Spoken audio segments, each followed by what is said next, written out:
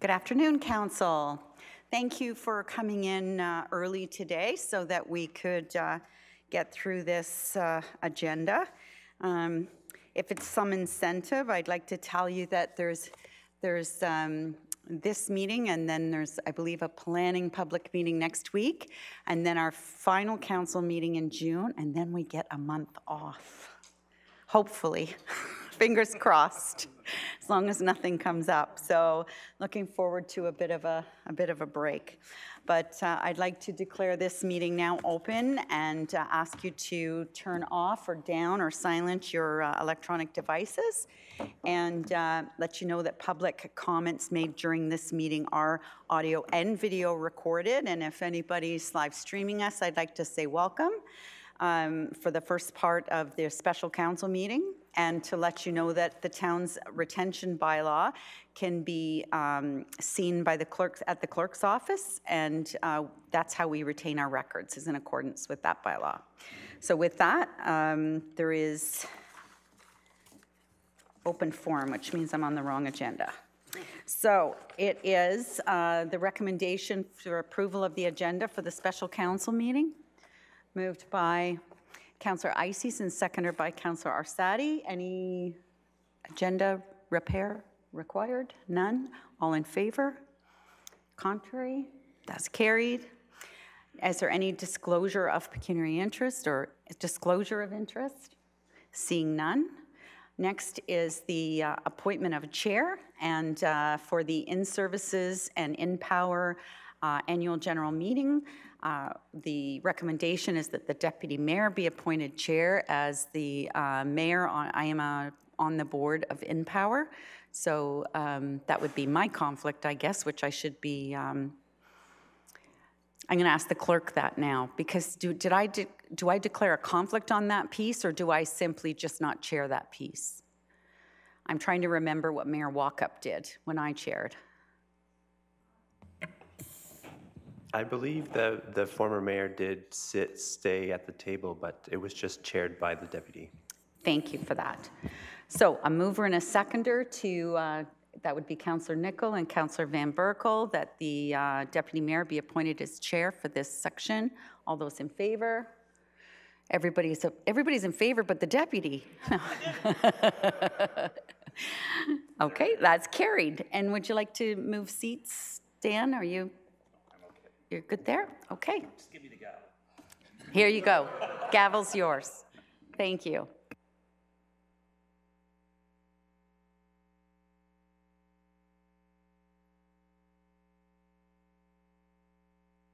Mr. Chair, um, so I'm, I'm pleased to introduce uh, the uh, president and CEO of. It's starting to get hard to count, actually, the number of companies uh, that Wally uh, has responsibility for.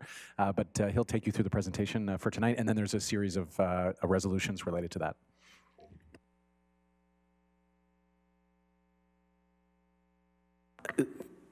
Um, Mr. Chair, there are a number of resolutions, I, I believe, including the appointment of the uh, the directors or the confirmation of the directors. I may be wrong; the clerks can correct me.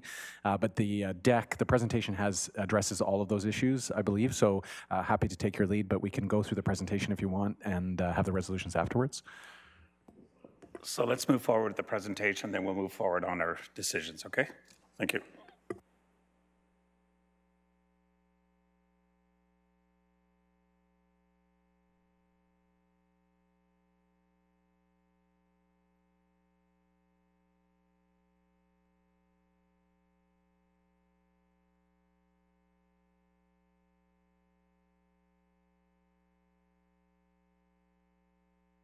InnPower, we'll start with that organization first. The Board of Directors currently, as municipal representative, is Jason Reynar as CAO, Lynn Dollin as mayor, independent directors Robert Lake, and independent director George Chaparro. The four members, and we'll get into the board governance uh, at the end of this presentation for InnPower and talk about what's happening in regards to board governance and the board of directors. Also like to introduce the InnPower executive team, uh, myself as president and CEO, Danny Prasad as the chief, chief operating officer, Shannon Brown is our vice president of corporate services, Glenn McAllister is our Chief Financial Officer, and Barb Cesarin is our HR Manager and Board Secretary.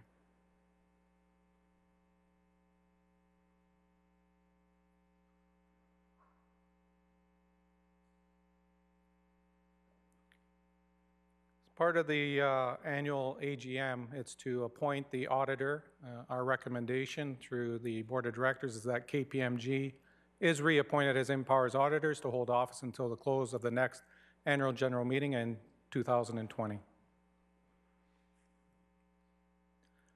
regards to the electricity rates from January 1st, 2018 to January 1st, 2019, with a customer, a residential customer using 750 kilowatt hours per month, they have seen a decrease in their electricity rates from 2018 to 2019. We're very pleased and happy to report this to the shareholder as well as to our customers, that the rates have decreased over a number of years where they were increasing. As a reminder, this is uh, where the dollar is spent in regards to on your electricity bill. The right-hand side shows how InnPower invests the 30 cents. So for every dollar we collect from the bill, 30 cents is collected on behalf of InnPower to use for our operations. I'd like to call up our CFO to go over the financial statements summary for you.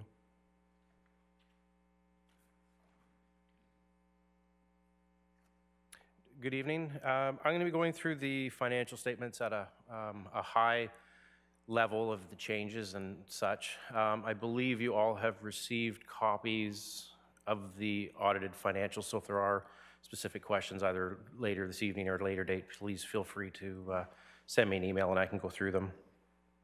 So um, on the assets, um, current assets, uh, there wasn't a major change. Current assets is your cash, your uh, accounts receivable, prepaids, et cetera.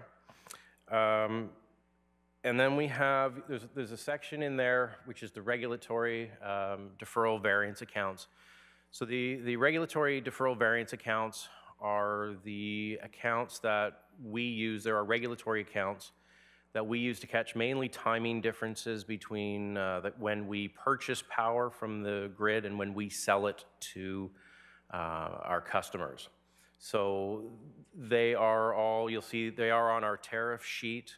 And then those are the, uh, when we talk about the RSVAs or the DVAs, those are the, the uh, uh, accounts that we get permission from the OEB to dispose of at, uh, at our cost of services or at our annual uh, IRMs. Liabilities. So there was an increase in long-term liabilities. The majority of the increase was due to uh, long-term debt, which we use to finance our capital. Uh, as well, we received uh, contributions in aid of construction. The long-term debt increase was about 1.7 million, and the uh, contributions was 1.4 million. So contributions in aid of construction are those amounts which are paid against our capital by third parties, either developers, uh, individual homeowners, builders, etc. You will see there was a fairly substantial increase in the uh, shareholders' equity from 17 to 18. Uh, in 2018, we had net income of 2.4 million versus 2017 of 35,000. The increase of the net income is for a couple of reasons. Uh, first, we filed a rate application for rates effective January 1st, 2017. That was filed in 2016. Uh, due to a number of delays, we did not receive that rate increase until mm, uh, May of 2018. So that accounts for a fairly substantial portion of the increase.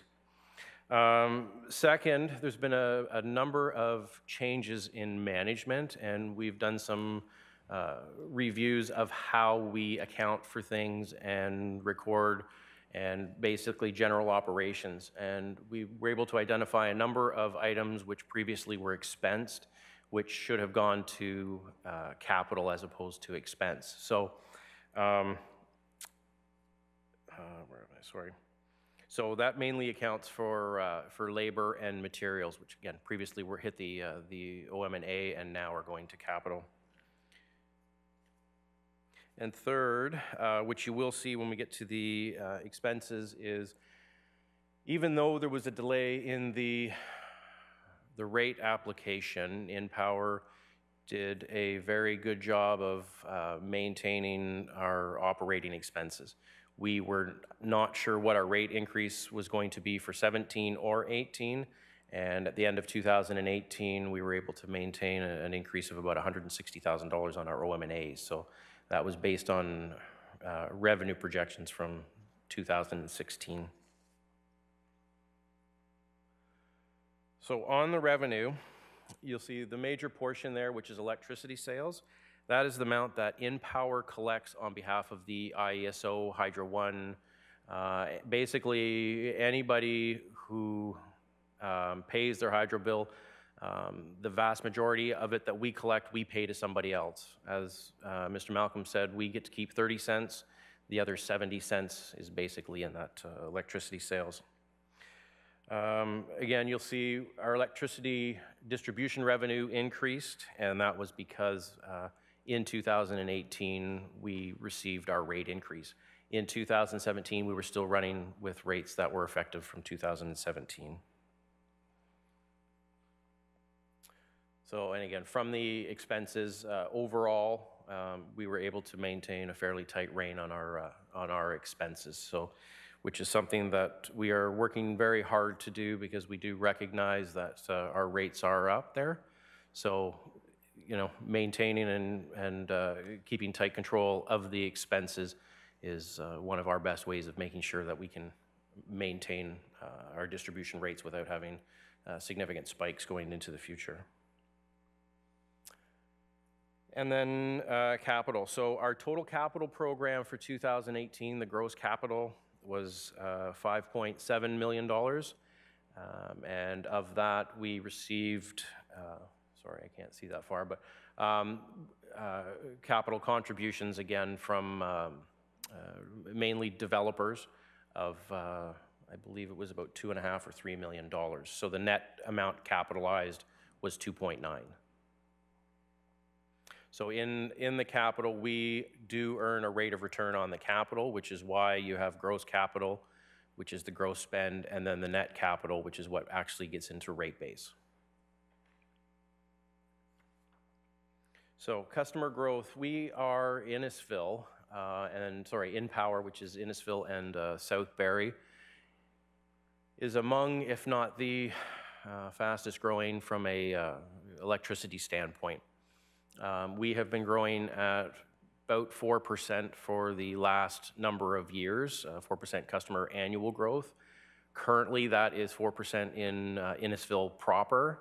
Uh, The South Barrie lands have not yet really started to develop, although they are, they are now. There are shovels in the ground, there are buildings started to, uh, to be constructed. So, you know, starting late 2019, early 2020, we'll see uh, our growth should start to go up even more so than the 4% if, uh, if Innisfil keeps going where it is and South Barrie. So um, we've been talking for a number of years about the growth is coming and can pretty handily say the growth is here. The shovels are in the ground, the buildings are starting to go up. It's not greenfield anymore, it's all been stripped, so.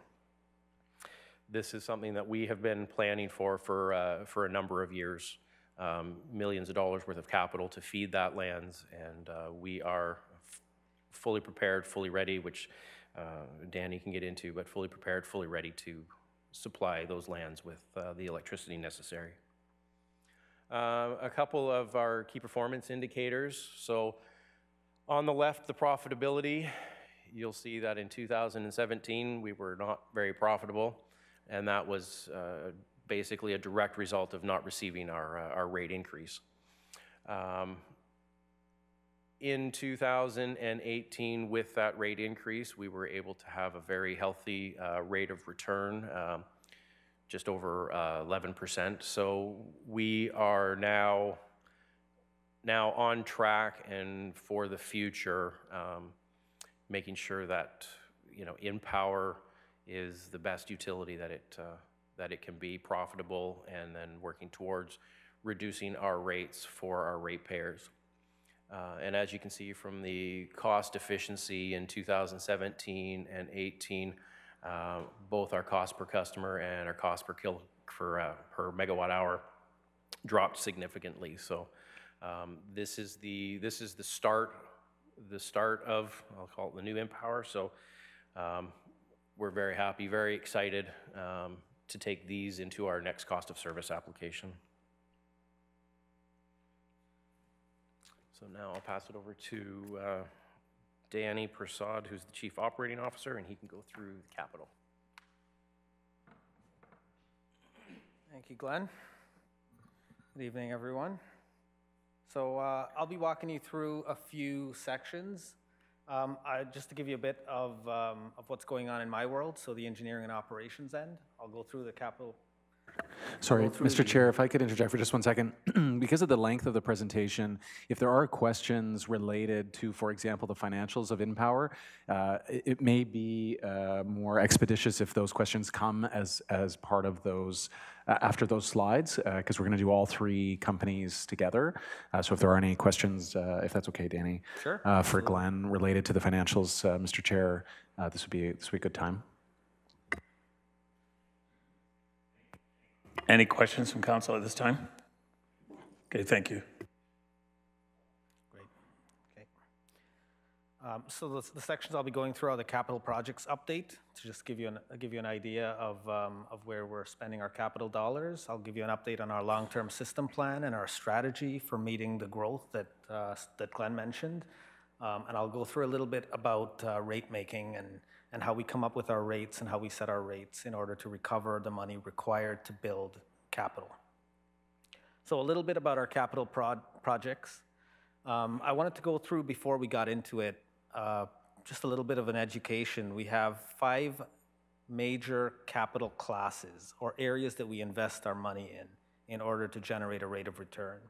Those are system access investments, system expansion investments, system renewal investments, system service investments, and general plant. Most of you will be familiar with general plant investments. Those are your property, plant, and equipment assets that allow you to run your business. In the electrical utility business, there are the others. So system access is basically any asset that we put into service that allows customers access to electricity.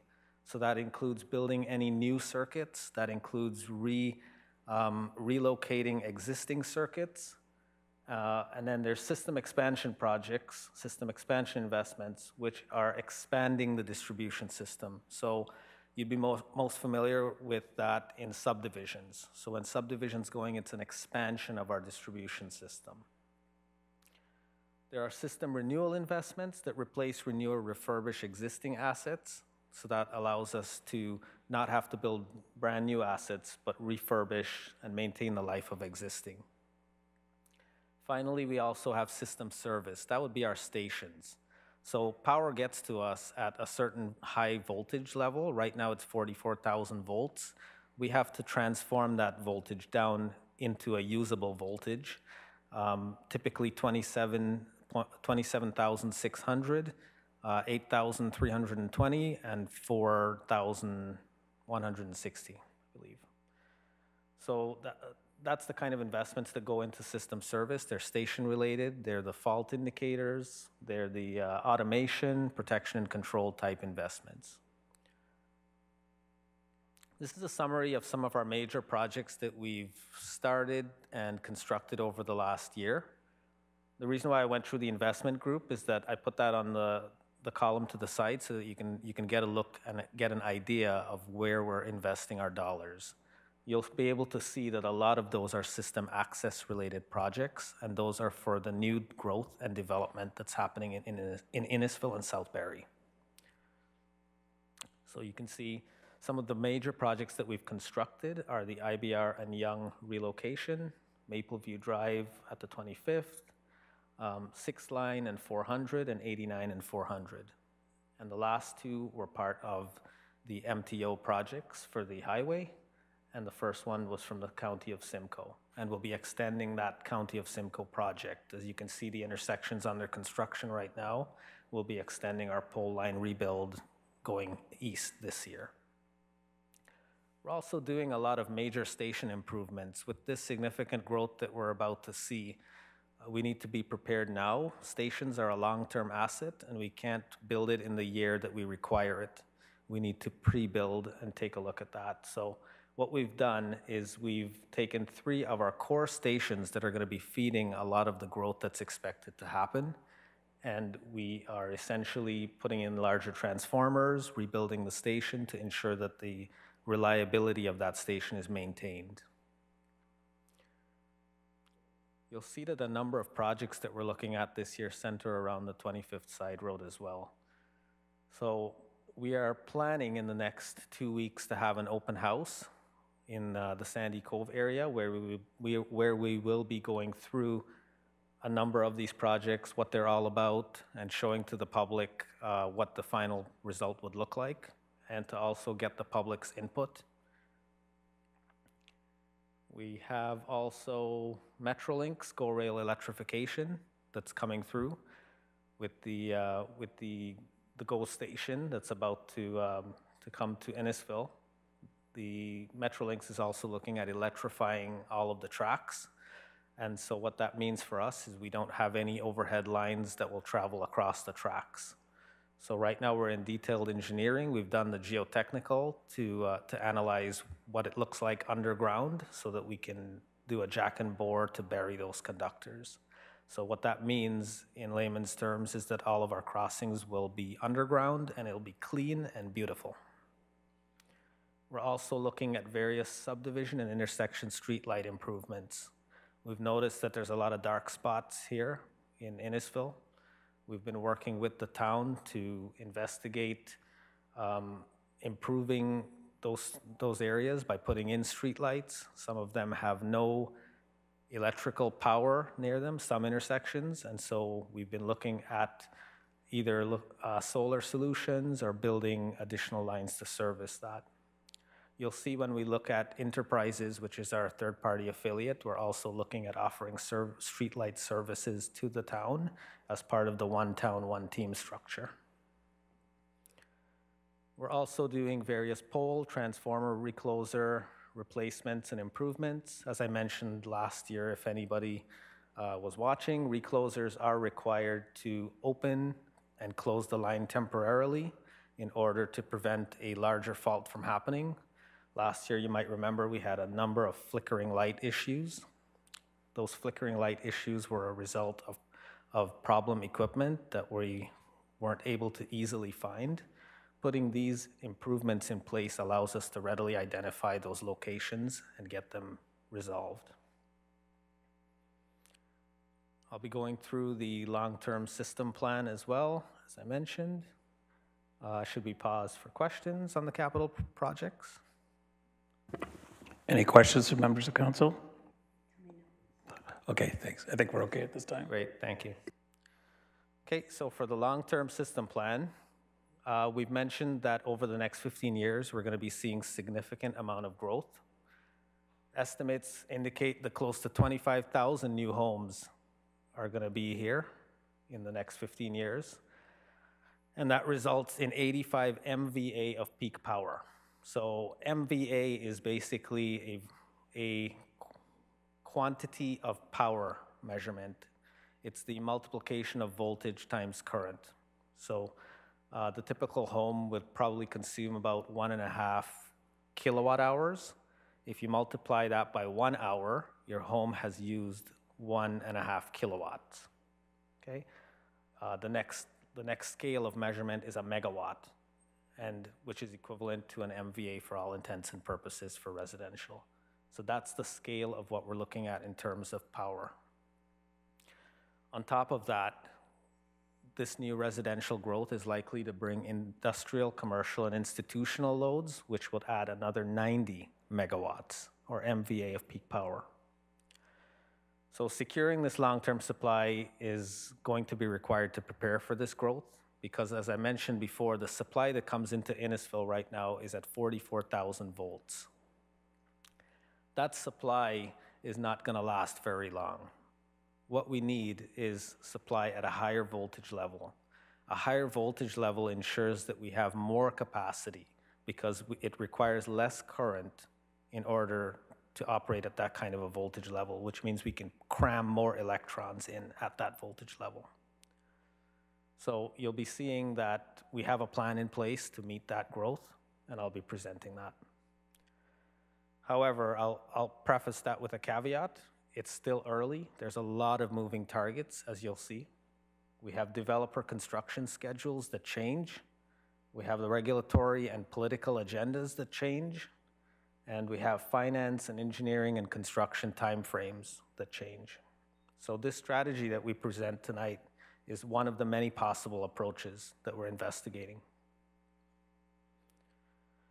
I'll skip ahead to this one because I think this slide kind of gives you a high level of what we're looking at. The lines in red right now are at 230,000 volts. These are the big giant transmission lines that look like transformer transformers. We have ESSA-TS, which is at the very center of all of those lines, and that is a network station. The green line that egresses out of that box is at 115,000 volts. You can see that goes into Barrie. And then there's a red line that comes into Innisfil. That red line that comes into Innisfil with the little box at Innisfil doesn't exist today.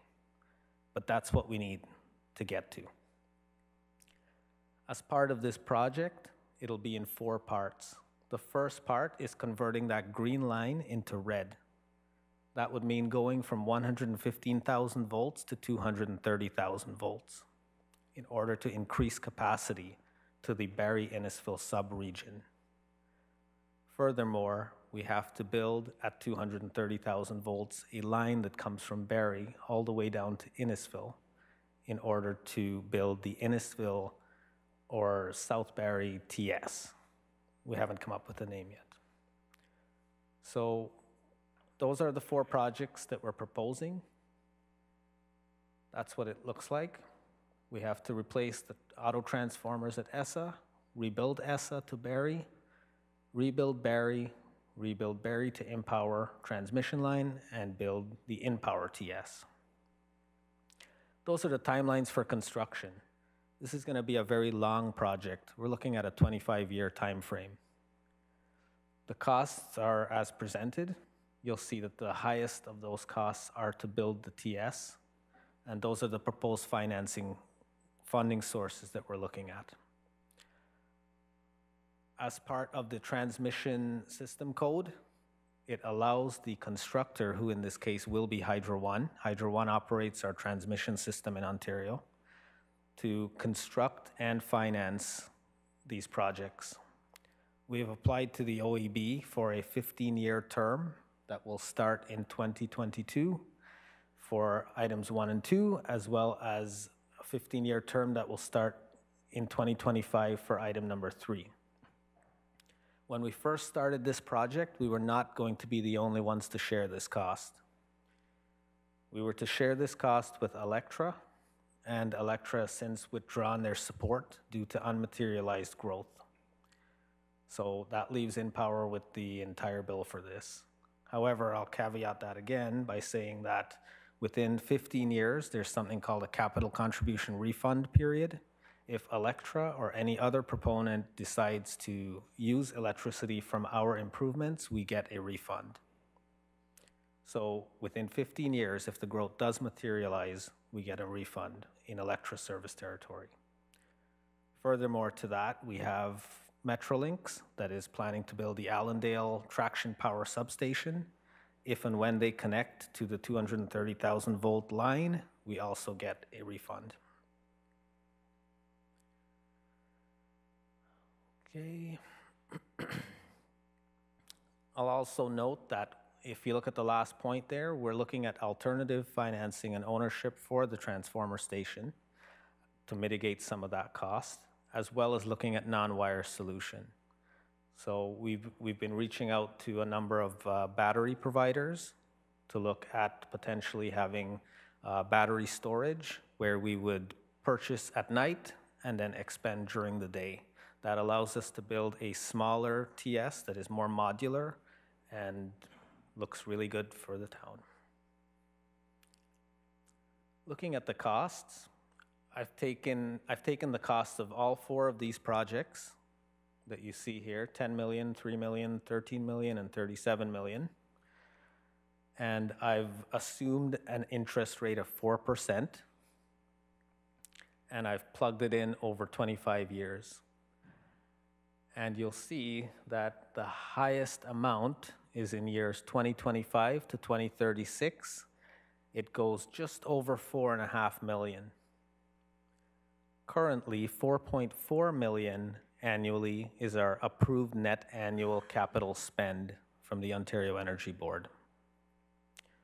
So what this, what this essentially means is that what we're, what we're showing here is not, we're, we're not going to have a rate spike. The likelihood of having a rate spike is low. What we plan over time is for that $4.4 million, which today is attributed to distribution capital costs in the, in the five capital investment areas that I mentioned, to be transferred into supply capital costs to get this strategy going. We'll also be applying in 20, for, for new rates effective 2022, where we will explore the option of a custom rate application. What that means for us is that we would come up with the strategies for keeping our rates sustainable and go to the OEB with that strategy to see if it's something that we- they would be interested in approving. That puts us in, uh, that put, that's put, that puts InnPower in control of how we mitigate a rate spike. Over time, as the number of customers increase, this cost is also spread over a larger group, as you can see, uh, which means a lower unit cost per customer. So that also helps. So, as I mentioned, two factor, these two factors should result in a sustainable rate increase and not a rate spike. Any questions?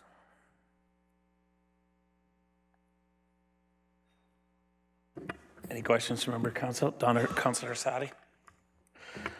Thank you, Deputy Mayor. Just on the strategy for the financing, um, you know, trying to think of uh, the costs of the uh, transfer stations, it mentions there the uh, financing, alternative financing, and ownership options.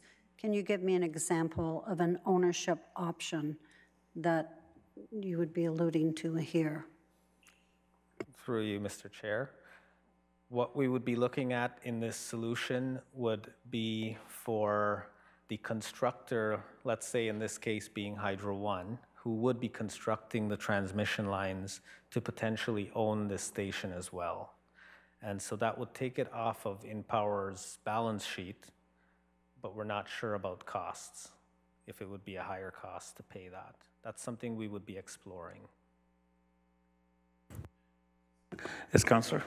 Thank you. Follow-up. Then, um, and I know that you'll present on this before, uh, later, much in the future.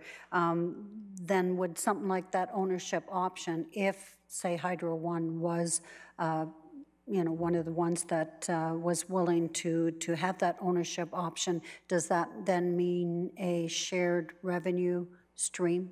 Because if you own that, you, you want some payback for that.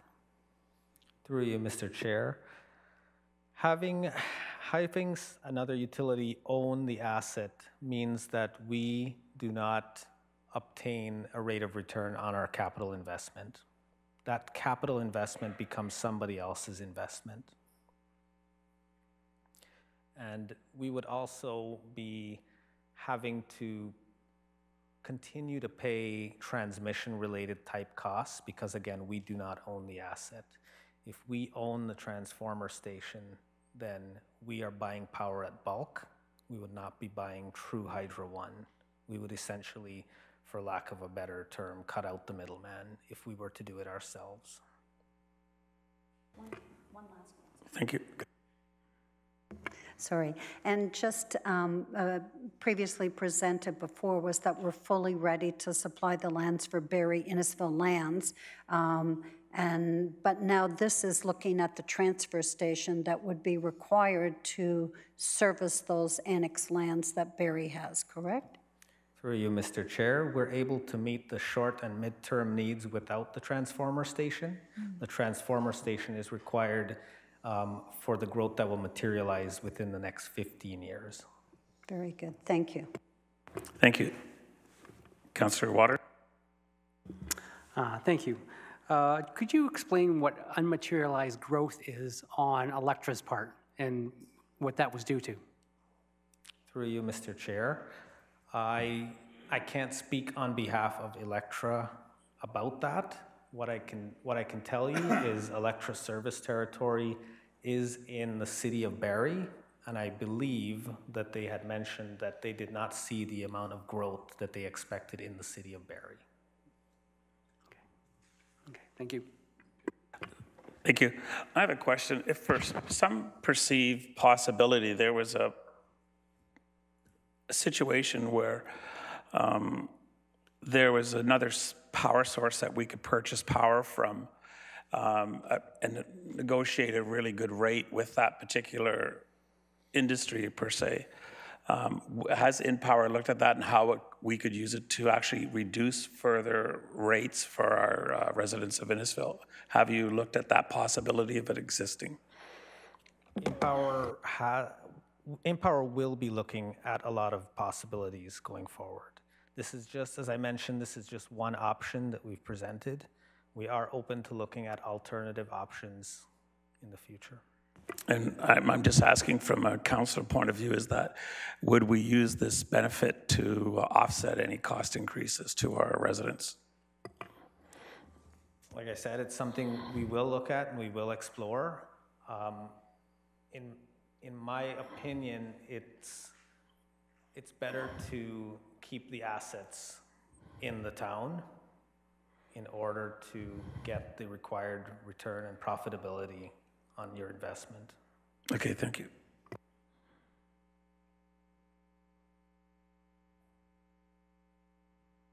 Any further questions, or I think you can proceed.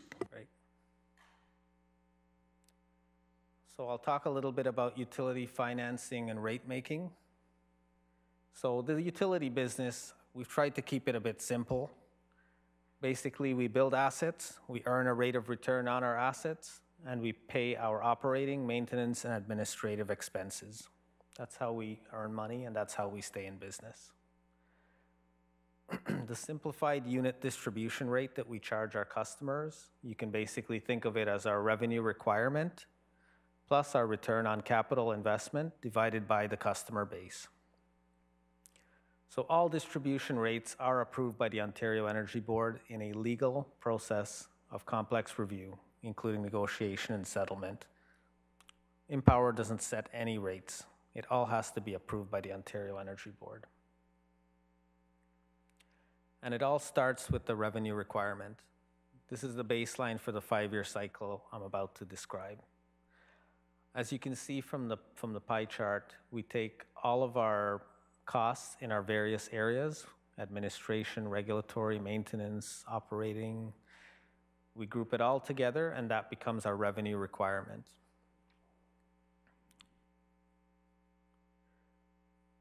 if we take that revenue requirement now and we take it to the Ontario Energy Board, and between years two to five, the Ontario Energy Board offers us something called an incentive rate mechanism. That's basically an inflationary cost increase subtracted, and what you subtract from that is any sort of productivity improvements that you should have taken. So what it encourages, what it encourages the utility to do is become more and more efficient over time in order to get a larger rate increase. So you can see the elapsed timeline from submission to the OEB to the final decision and order for the IRM. You're looking at four months. Takes about 75 sheets and three mandatory OEB models to do that. So where is InnPower in the five-year cycle? You can see InnPower is at year three right now, entering into year four of the incremental rate mechanism, incentive rate mechanism, pardon me. It all starts with the cost of service in year one, goes through the five-year cycle, then hits the cost of service again. A cost of service is basically a rebasing. You look at your entire rate base. So years five and year one overlap as present, as preparation for the next cost of service commences. Uh, What's important to note in this slide is that rates are officially set in your cost of service year, and you get a formulaic increase year over year up until your next cost of service. So why is that important? It means, again, the utility can't set rates individually in any year. It means you have to go to a cost of service hearing in order to set your rates. In the case of any sort of merger and amalgamation, as you recently mentioned, rates can't be set immediately. Things can't happen immediately. So what ends up happening is utilities can apply for a deferral on their rate base, in which case they hold their rates at a certain rate level up until they're able to apply into the OEB to get their rates changed. Utilities under merger situations have seen that go as long as 10 years before any rate increase changes. And at that point in time, it's unlikely to know if your rates are going to be high or if they're going to be low. So addressing major capital requirements, again, InnPower will be facing enormous growth from infrastructure and load perspective. Um, The principles of the return on capital, they're calculated on a five-year cycle. And we would be looking again at a custom rate application for this. This would give us approved rates for 10-year timeframes. In terms of financing and capital funding, we wanted to point out that InnPower operates like any other business. We use debt and equity for capital. We strive to maintain a 60-40 debt-equity ratio in order to remain properly leveraged. And typical lenders include financial institutions and Infrastructure Ontario, other government sources. A utility is not a going concern, and it is highly regulated. As the number of customers and load increases relative to costs, so does the viability of this business. Okay, I'll pass it back to Wally to go through the rest. Thank you. Any questions on the previous slides?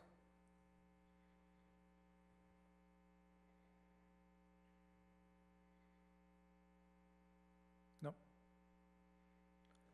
So InnPower Board Governance, uh, previously this year, you looked at the InnServices board governance document.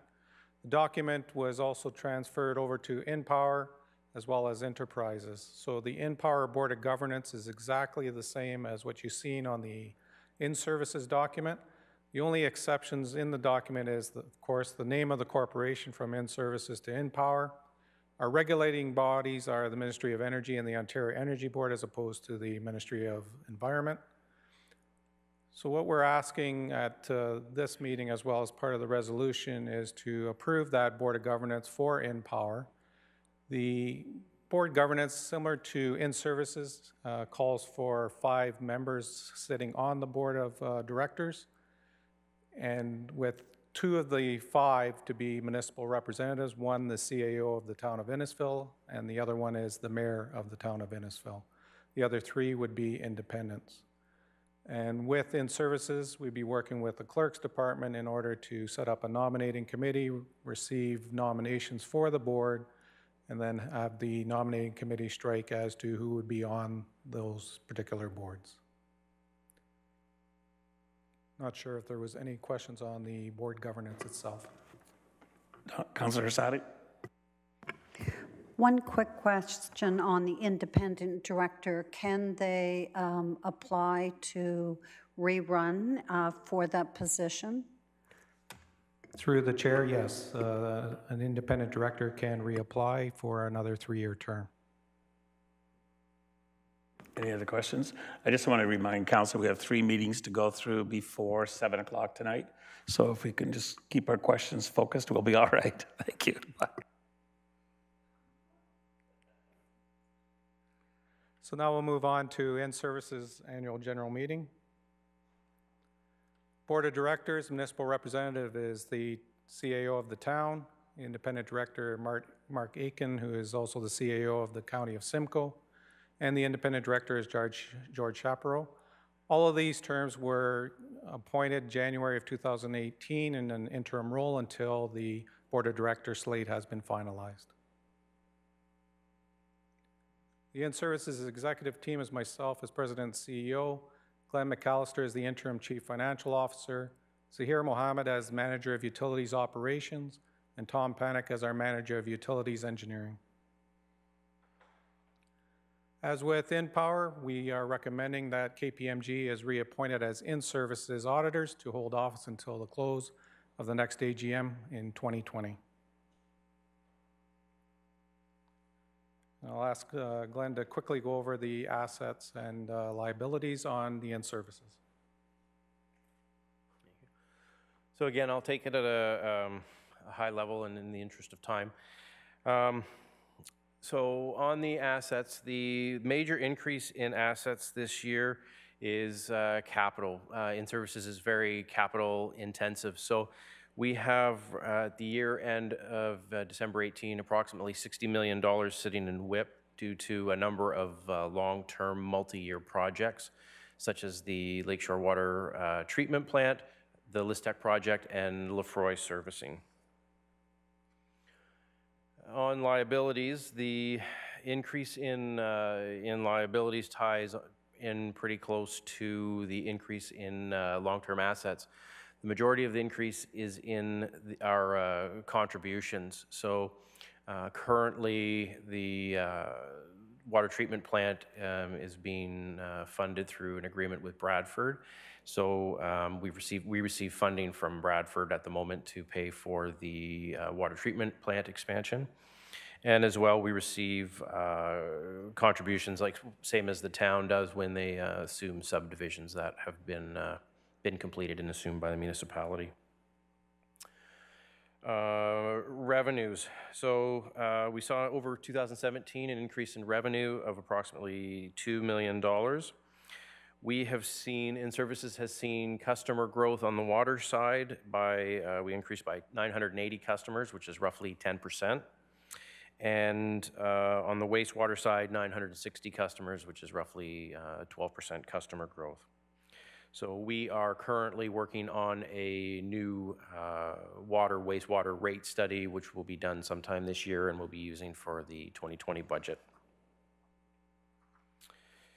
On the expense side, um, we've seen a number of changes on uh, on the expenses. A lot of this is due to the uh, to assuming new assets, such as uh, Friday Harbour, where there were uh, booster stations, pumping stations, um, which we previously did not have, as well as uh, reservoirs and the water treatment plant. One of the major changes is the, uh, there's been some decrease in the cost of operations of the water treatment plant due from the, uh, the change to the uh, membrane type filter, which um, requires uh, less backwashing and as such less, uh, less water usage. Uh, on the capital, uh, as I mentioned, InnServices is very capital intensive.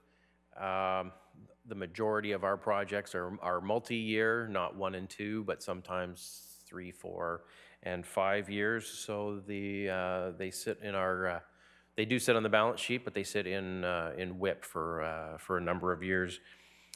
In 2019, we do have a number of projects which are nearing the end of their construction phase and will be transferred from WIP into uh, capital.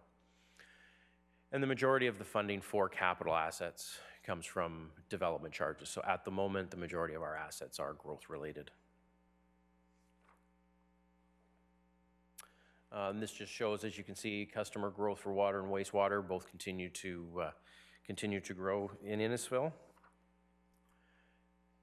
And then um, um, KPIs. So the uh, the big one is the the profitability. So again, as uh, the original rate study was done by the town prior to the creation of InnServices, and there was certain um, factors built into that in order to Similar to the town, you guys uh, create reserves.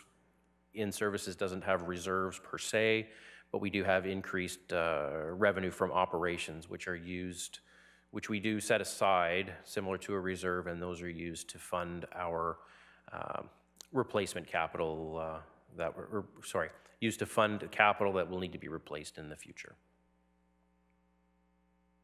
So now we uh, into capital.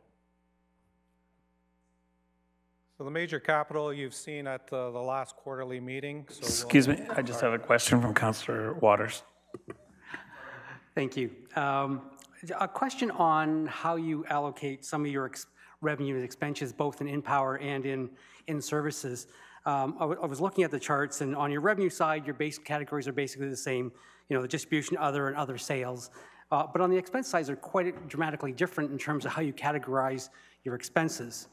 Um, So on, on InnServices, you're, you're looking at wastewater collection, wastewater treatment, pumping, and, but the other uh, for InnPower is uh, administration, operation, and maintenance. So is there no operation maintenance in InnServices, no administration costs? So where are those being covered up and So, why the difference? Yeah, through, through you, Mr. Chair. On,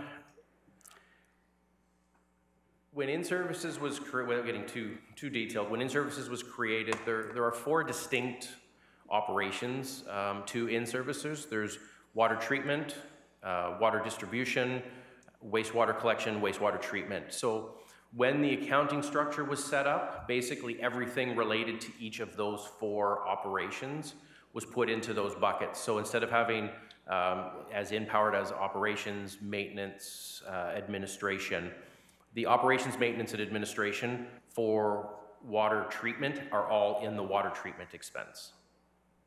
So it's, it's just a different, different grouping, and that's the way that the accounting structure was set up. So we, we are looking at, we are in the middle of changing the accounting structure, and if, to be able to provide that type of breakdown is something that I can't do very easily today based on the accounting structure, but with the new accounting structure, it could be uh, similar to the way InnPower's are shown. Okay, it just makes it difficult to compare how things are, are com- are comparable. Yeah. Okay, thank you.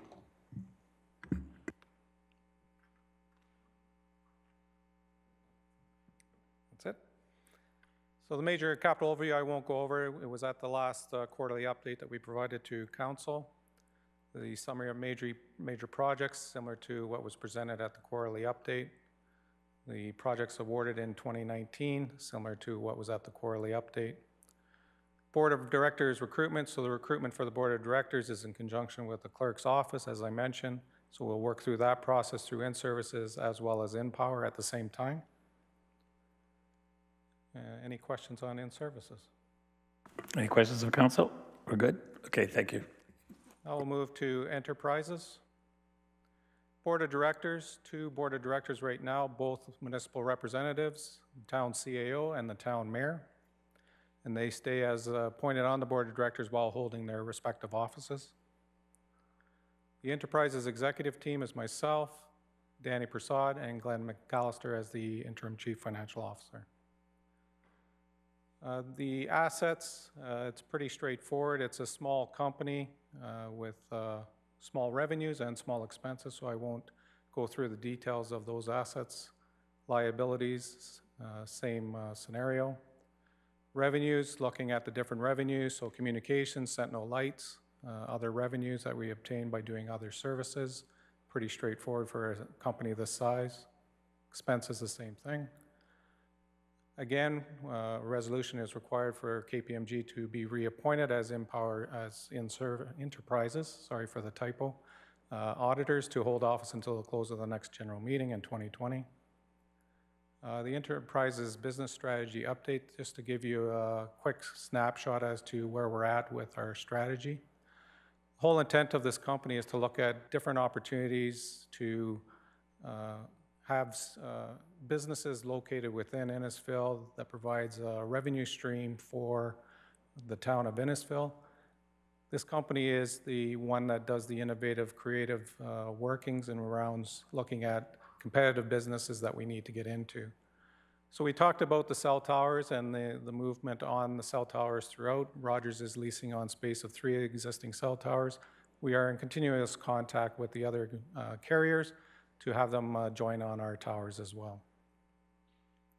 Internet service is one that is uh, a key topic for the town of Innisfil as well as the residents here. Looking at partnering up with the town to look at internet service alternatives for the residents of Innisfil, and also looking at subsidizing free local Wi-Fi for the town. Power engineering and operations, we uh, brought this up during the orientation presentation of looking at power line construction, locator and inspector services.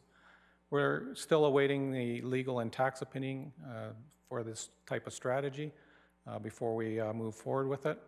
Control room services, we have melt, met with a number of utilities, smaller utilities that do not have a control room service, and gauging their interest in setting up uh, us as a provider of their services for them. Streetlight design, installation, and maintenance, we are working with the town of Innisfil staff to look at the completion of designs for street lighting as well as the maintenance of the street lights within the town of Innisfil. Power generation and storage, uh, ongoing research on battery storage. We've met with a few companies in regards to battery storage. Uh, It looks very promising and an opportunity for us here at the town of Innisfil. Uh, EV car charges, we have applied to Natural Resources Canada for funding for two level three chargers. That's the high-speed DC chargers to be located uh, within proximity of the 400. So the application has gone in. If we are approved, that will subsidize 50% of the cost for those EV chargers uh, that we've applied for. Sentinel lights and other investments, it's ongoing. We're reviewing the street, the Sentinel lightings themselves. It's more for farm lanes and commercial areas.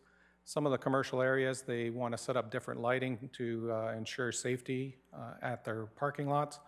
So does it make sense for our company to do it, or does it make sense for the commercial entity to take it over and redesign for their requirements?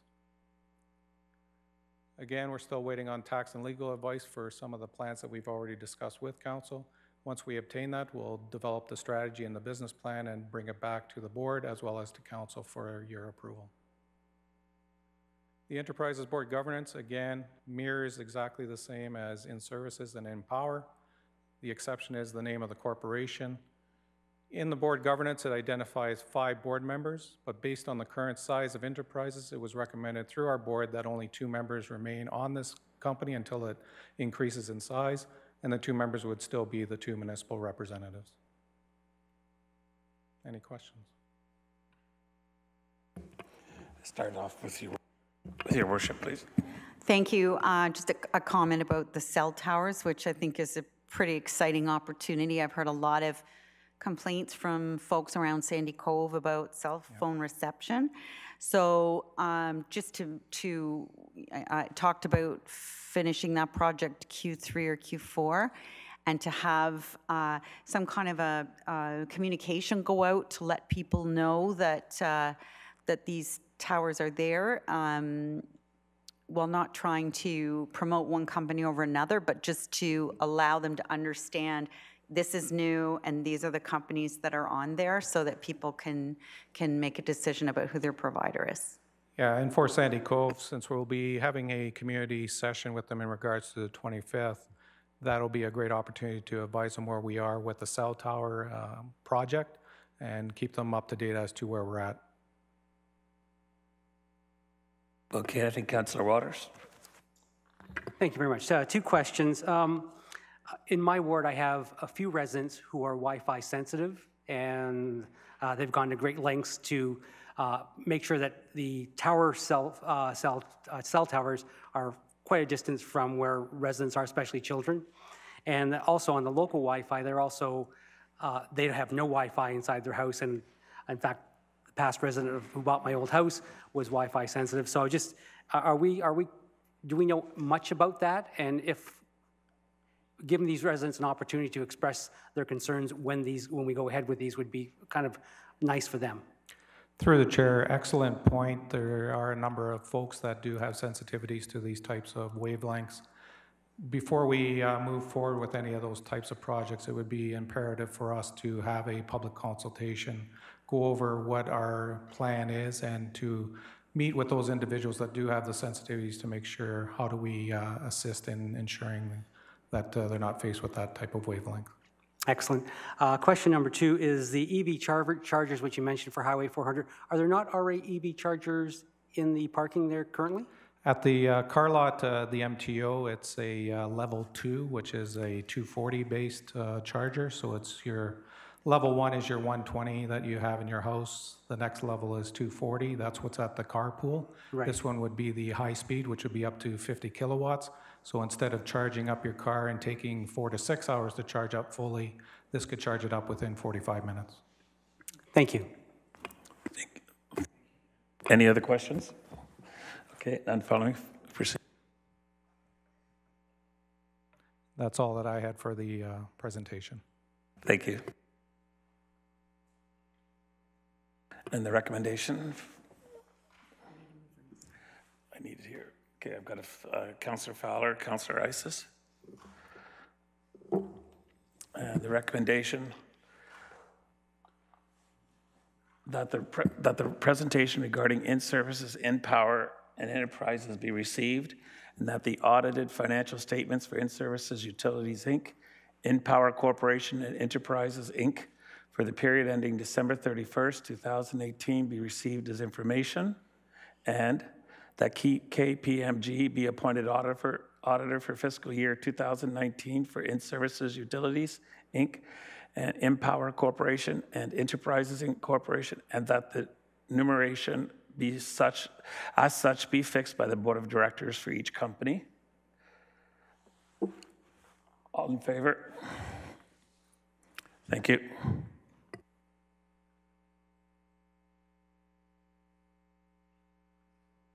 I need a mover and a seconder.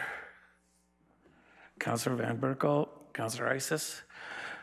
Recommended that the interim Board of Directors for InnServices Utilities, Inc. be confirmed until the recruitment of board members is complete. Jason Reynar, Director and Chairman, George Shapiro, Director, Mark Aitken, Director. All in favor? Oh, I have a question from our CAO. Thank you, Mr. Chair. I just wanted to comment, uh, Mr. Malcolm uh, made a note of this, but I just wanted to underline uh, that you had originally appointed this interim board for a period of 18 months. Uh, I can assure you that none of those board members uh, would like to hold on to that position any longer than they have to.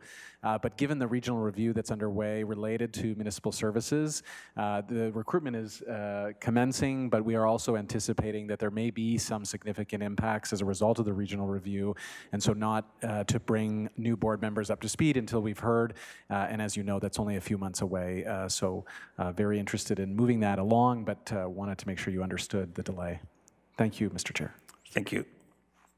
And so we need, uh, all in favor? Thank you, that's moved. Okay, I need a mover and a seconder. Counselor Eisses, Counselor McNichol. Recommended that the minutes of the InnPower Corporation Annual General Meeting and the Enterprise, Inc. Annual General Meeting dated June 27, 2018 be received as presented. All in favor? Thank you. You give me a run here. I need a mover and a seconder. Councillor Orsatti and Councillor Waters recommended that the board governance and recruitment strategy for InnPower Corporation and Enterprises, Inc. be approved. All in favor? That's carried. Thank you. Need a mover and a seconder. Councillor Fowler, Councillor Van Berkel. That George Shapiro's term as independent director on the InnPower Corporation Board of Directors be extended until the recruitment of board members is complete. All in favor? Thank you. Need a mover and a seconder. Councillor Fowler, Councillor Waters. Recommended that council reserve, resolve into closed session meeting to consider the following matter. A position, plan, procedure, criteria, or instruction to be, to be applied to any negotiations carried on or to be carried on by or on behalf of the municipality or local board. Section 2392K of the Municipality Act 2001, Lakeshore Water Pollution Control Plant, front-end financing and interim allocation principles. All in favor? That's carried. Thank you. Oh, Mr. Reynar, sorry. Thank you, Mr. Chair. I just wanted to take the opportunity before we uh, resolve in, uh, well, before we move in camera, uh, to thank very much uh, the Board of Directors who were able to attend uh, tonight and those who are not. Um, the, uh, they continue to provide significant guidance to this company as it grows. I think we like to say from a teenager into a young adult, or maybe it's an adult to a wise old. Anyway, um, and uh, so we very much appreciate their continued support. Uh, I also want to thank the senior staff and the staff of uh, all of the companies. Uh, they continue to. Uh, in, in quite uncertain times, as Mr. Prasad said, with the regulatory regime changing, it feels like daily. They continue to to provide an excellent leadership for our community. The board likes to say that um, we have our nose in their business, but our hands out, uh, and uh, sometimes it feels like our hands are in, uh, but they do a very good job of uh, uh, being very uh, uh, diligent and vigilant uh, with the community dollars and the public uh, work that they do as utility companies. So I want to thank them very much for their good work. Thank you, Mr. Chair. Thank you. I think your words are concurred by council and our worship. Yes, go ahead. Just also a quick comment that uh, last uh, week, we uh, went through a three-hour training session with the Walkerton Clean Water Center, which I think was a a great exercise, and it was shared with uh, staff of InnServices and, and council members, and, and just gave us the, um, I guess, the, the surety and also the gravity of the importance of providing clean water to the community and the efforts that it takes to do that. And as uh, I, I, I know a water operator who loves to say that he saves more lives than a doctor every day by uh, providing clean water for our community. So thank you on that respect. Okay, thank you. And I've actually, before I did make that meeting, however, I have been to Walkerton and I've been through the uh, small museum they have there and I've been through their wastewater treatment plant and such. So yeah, it's uh, made a huge impact in Ontario. There's another aspect there again. But anyhow, thank you very much. And I think council will move forward. So I appreciate your time tonight. Take care.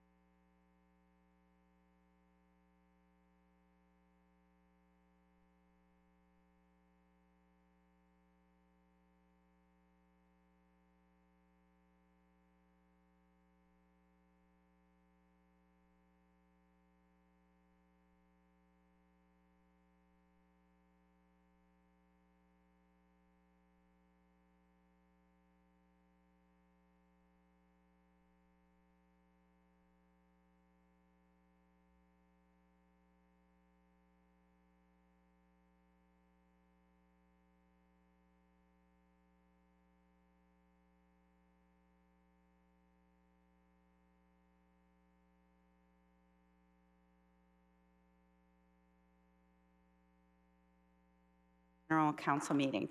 So I need a mover and a seconder to um, now rise and report at 7:03 PM. That's moved by Deputy Mayor Davidson and seconded by Councillor Fowler. All those in favor? That is carried. Next is the recommendation for the confidential direction regarding the LWPCP, moved by Councillor Nichols, seconded by Councillor Waters. All those in favor? That is carried. And the confirming bylaw, Councillor Nicol, Councillor Van Berkel, all those in favor? That's carried. And adjournment, Councillor Nicol, Councillor Van Berkel, all those in favor? And that's carried. Thank you. So now we'll move to our, uh, our regular council meeting for this evening, the evening of June the 5th. And I will um, just open the meeting tonight um, with, with a couple of comments. Uh, the first one is I'd been asked by a few people uh, why the flags at the town are flying at half staff. And, uh, and I wanted to let you know the reason we've done that is uh, because of 11 people that were uh, killed and six others wounded in uh, Virginia Beach, Virginia on Friday afternoon in the case of a disgruntled uh, employee indiscriminately opening fire at the municipal center in Virginia Beach.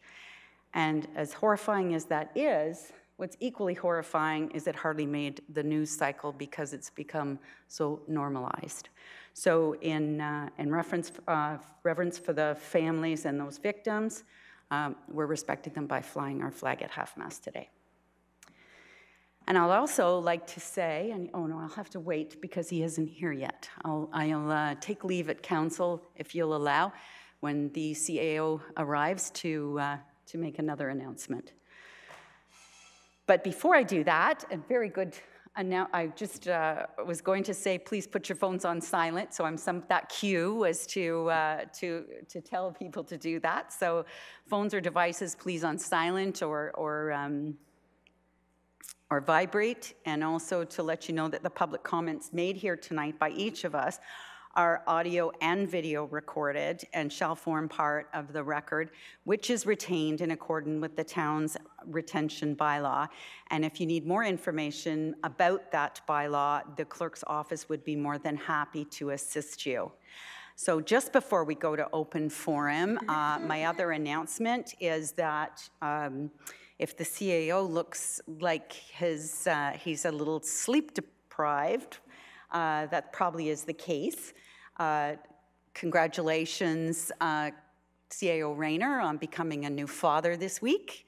And uh, all the best wishes to you and your growing family. And um, I very much thank your wife for allowing you to be here with us tonight, being that uh, your young son is, is so young and, uh, and you're back here with us, but we appreciate your assistance. Thank you.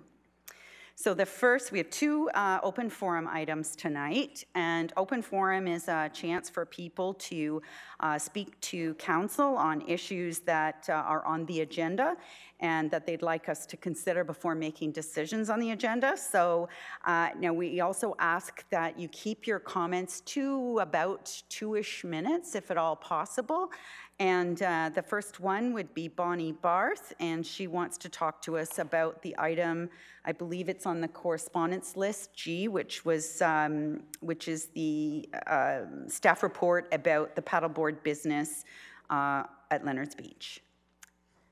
Ms. Barth. Actually, sorry, if you wouldn't mind coming up to the microphone, uh, it would be it would be better for us and for the people who are online listening. There's one right over there. Therefore, you're both audio recorded, plus the people who are watching us online will hear your um, important words as well, whenever you're ready. Okay, good evening. Actually, I didn't know I was going to speak tonight, but I have been sending numerous emails to our council, and um, I thank them for their time and consideration. Uh, I'm most concerned about the paddleboarding business uh, that is proposed or is coming to Leonard's Beach, the bottom of the 10th line. Um, I'm all for water sports. I love water sports, anything to do with the water. Um, But what my, my friends and family are concerned about is the vast amount of space this is going to take up on both the beach and in the parking lot, which is already compromised. Um, We have, it's not just a matter of one or two paddle boards being out at one time.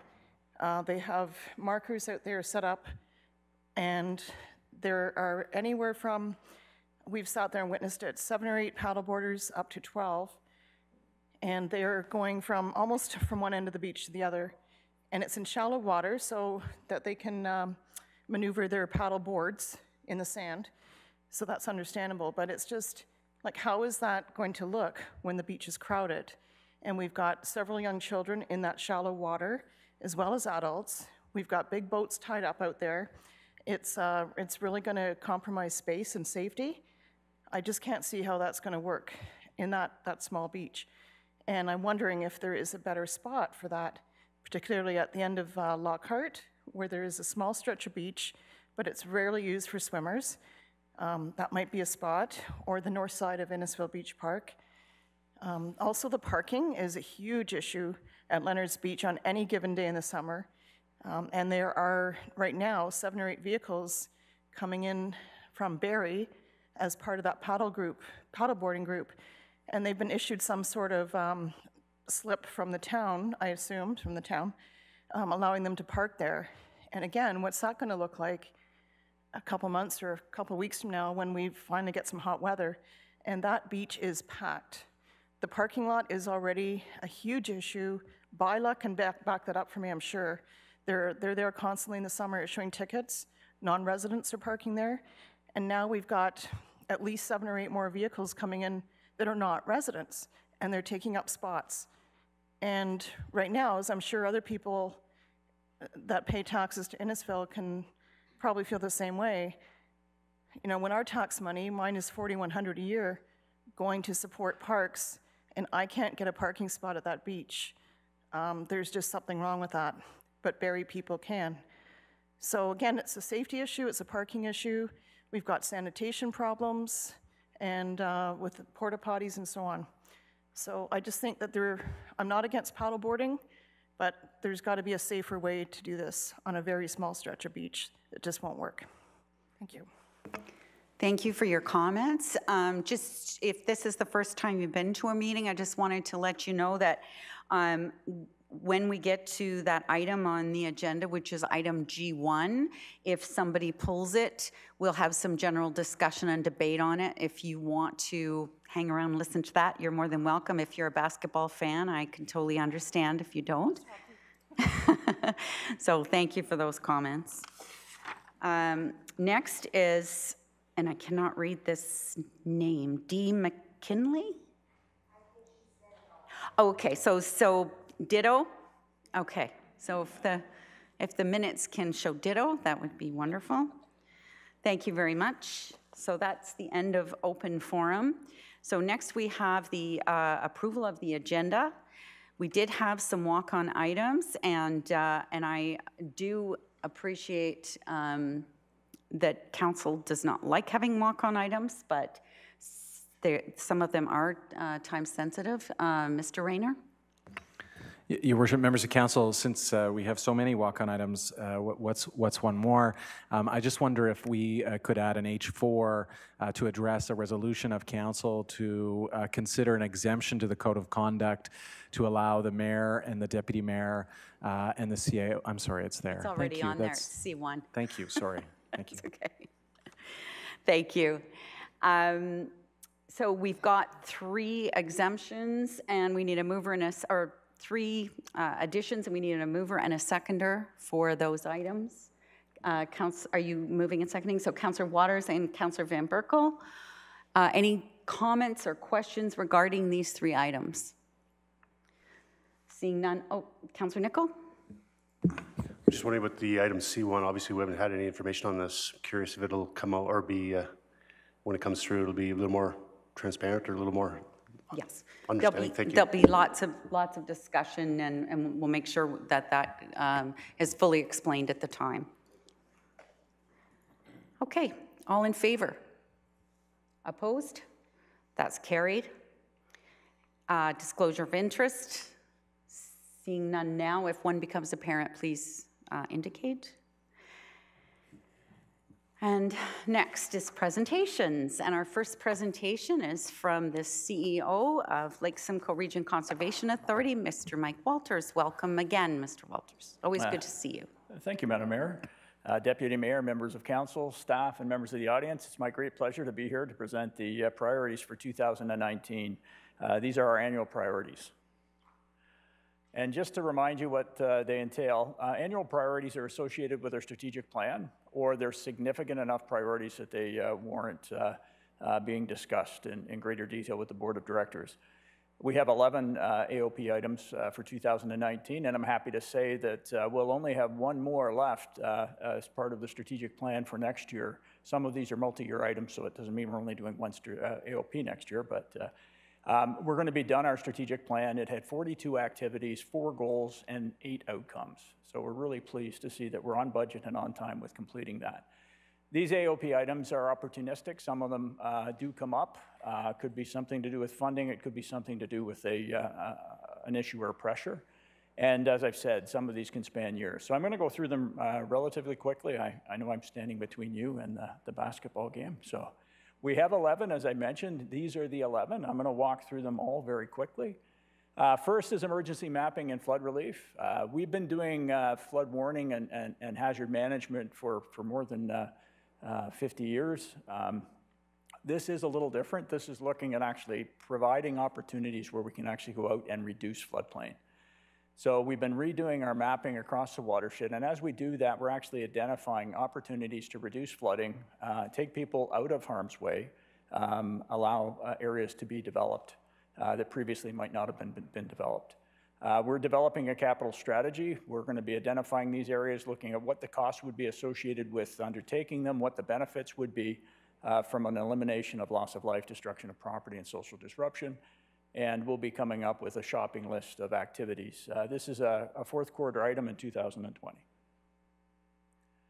Uh, one of the other bigger issues that we faced within our watershed is we are one of the most uh, uh largest areas of growth within the province. And sediment erosion control is a real issue. Uh, um, we are looking at uh, revising our standards right now for sediment erosion control. We're, we're working with the Canadian uh, Standards Association, and we've just uh, published some new guidelines. They're going to be adopted uh, into our policy uh, before the middle of this year. And we're working with the building uh, build, which is building land development industry, and uh, people like ResCon and our municipal partners. we're going to be looking at increasing inspections and potentially looking at a, a cost share program whereby we could provide um, some municipalities uh, inspection as part of a fee-for-service program. This is a first quarter deliverable uh, for 2020. We are uh, leaders in what I call low impact development, and we're going to continue to work with our industry and building partners uh, to, to essentially make sure that new development is as sustainable as possible. Uh, we also have the job of making sure that the development that has occurred is addressed and that there are any issues associated with uh, stormwater runoff or flooding, again, can be fixed. Uh, we're doing this through uh, uh, a two-step process. One is uh, we're looking at our guidelines again with respect to low-impact development, but more we're working with the stakeholders, undertaking training not only on design, but on uh, how you maintain uh, low-impact development. This is a second quarter deliverable in 2020. Uh, key environmental trends and change. Uh, we do this annually, but we don't produce reports all the time. Uh, they're usually once every five years. Um, we've decided that that's not enough with respect to the reporting frequency, and so we're moving to a new process of uh, publishing key performance indicators on the web uh, site that we have so that people can actually see real time what is changing across the watershed. This is really important because it informs our management decisions. We don't collect information uh, for academic purposes, it's all applied. So if we're collecting information, we're using it for something. Uh, information is readily available on our website. Uh, we have an open data portal, and it uh, receives a lot of attention from uh, universities, from the industry, and from our municipal partners. Uh, we're going to continue to do that, but we're also looking at uh, publishing these key performance indicators and having a new web page all on just the key performance indicators. The example is SALT, which I've, I've mentioned in the past. And uh, uh, it's a significant issue in our watershed. The blue line is uh, showing the salt increase in Lake Simcoe.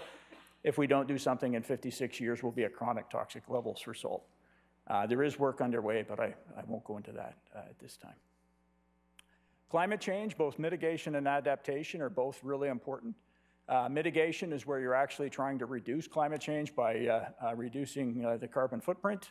Uh, we have our own carbon resiliency program, and we're working with a number of academic institutes to build a carbon uh, balance for the entire watershed, and then we can actually look at what we can do to restore carbon balance or actually improve carbon sink. Uh, adaptation is our reaction to climate change, and climate change is real, folks. Uh, it's really happening. We're seeing everything from droughts one year to uh, extreme rain events, um, storms, uh, and, and our, our one in 100 year event, which was a storm that would only happen one, every 100 years, now happens every 10 and a half years. So those frequencies increase. It doesn't mean we're going to see more uh, larger flooding, but we're going to see a frequency and increase in these uh, small flood events. So uh, the adaptation strategy is uh, scheduled for completion uh, before the end of this year. The mitigation strategy is a first quarter deliverable in 2020. Uh, currently, it just so happens I'm doing an operational review of all our 30 programs and services. It was part of a four-year cycle that uh, helps us inform our strategic planning process. Our strategic plan is five years. It ends next year. Um, the program and services review will help uh, inform what we're going to be doing uh, moving forward. Uh, but we'll also be coming out to our member municipalities uh, and, and asking you uh, what programs and services you value. This is actually intrinsically linked to Bill 108. Um, right now, the province is looking at what we're doing and how we're doing it. So this was very timely. It was, uh, wasn't planned. We didn't read the province's mind, but uh, it certainly is convenient that it's happening at the same time. So this is a first quarter deliverable in 2020. Uh, asset management is a, a continuing uh, problem, risk, pressure for us. Uh, we're just finally completing an asset management plan. Uh, if you don't manage your assets, what happens in the picture happens. Uh, your boat sinks. Um, this was an old, old boat, and uh, unfortunately, it was past its life cycle. we did replace it finally with donations from our foundation. This did not cost our municipal partners any money, which was the good news. Uh, we are completing a financial plan for asset management. Uh, we were able to get some money with the assistance of York Region and uh, the Federation of Canadian Municipalities through FCM, and this is a fourth quarter deliverable in 2020. Talent management is our asset management for people, and I have a great team at the Conservation Authority. We need to maintain that team, and one of the ways of doing that is providing uh, uh, talent management training, as well as developing a successional plan. Everybody has a best before date, and you want to make sure that if your date comes up, you've got somebody in place that will uh, take over. So we're working on a successional plan. That's a first quarter deliverable uh, first of next year. Uh, also, a provincial priority and something that we had planned to do and we're already doing. Uh, we're working with the build industry, the Ontario Housing uh, uh, and Business Association, ResCon, which is a residential construction group, to look at ways on how we can improve efficiencies for our plan review and for permitting. Uh, right now, we're working with ResCon on an e-permitting system. It's a draft system at this point, and we'll be trying to trial it uh, hopefully before the end of this year. But we're looking at reducing our timelines with respect to our review of development and our issuance of permits. And uh, through the e-permitting process, people can always see where their permit is in the process, which is uh, half the battle uh, when you're, you're waiting on a permit, uh, wanting to start construction. the outcome is a more satisfied client and um, we meet regularly with the build industry, um, at least quarterly, uh, a little more than that right now, and we're making sure that uh, they're pleased with the service that we're providing. So this is an estimated first quarter deliverable in 2020. I'm very happy to say that the Scanlon Creek Operations Center renovation is finally proceeding. Uh, it's taken some time to get it going. Uh, it was, uh, again, uh, we were busting at the seams with our, our office. We had uh, repurposed this building to offices, but it wasn't really well suited for offices. It was an old residential center um, that we used uh, for overnight stays for kids. Uh, this is going to eliminate any current crowding we have, and it'll also uh, allow us to do some storage for our file system, which currently is off-site, and that also allows, if there is any future growth, for, for the, those areas to be developed. So it's, it's underway now. We're hoping it will be completed by the end of this year and that staff will be moving in the first of next year. And finally, uh, fundraising construction of a new uh, Nature Center Education Center. Uh, This is the current center. It's at Scanlon Creek as well. Uh, It is extremely old and past its life cycle. There's three portables that were 20 years old by the time we got them from the York Region School Board 20 years ago. Um, They are in a bad state of disrepair. Uh, We just relocated a family of raccoons uh, out of one of the uh, classrooms. It's not the kind of habitat we're normally used to building. Um, We wanted to make sure that uh, the kids are in there, not the the wildlife. Um, We're hoping to have everything uh, ready by 2021, funding dependent.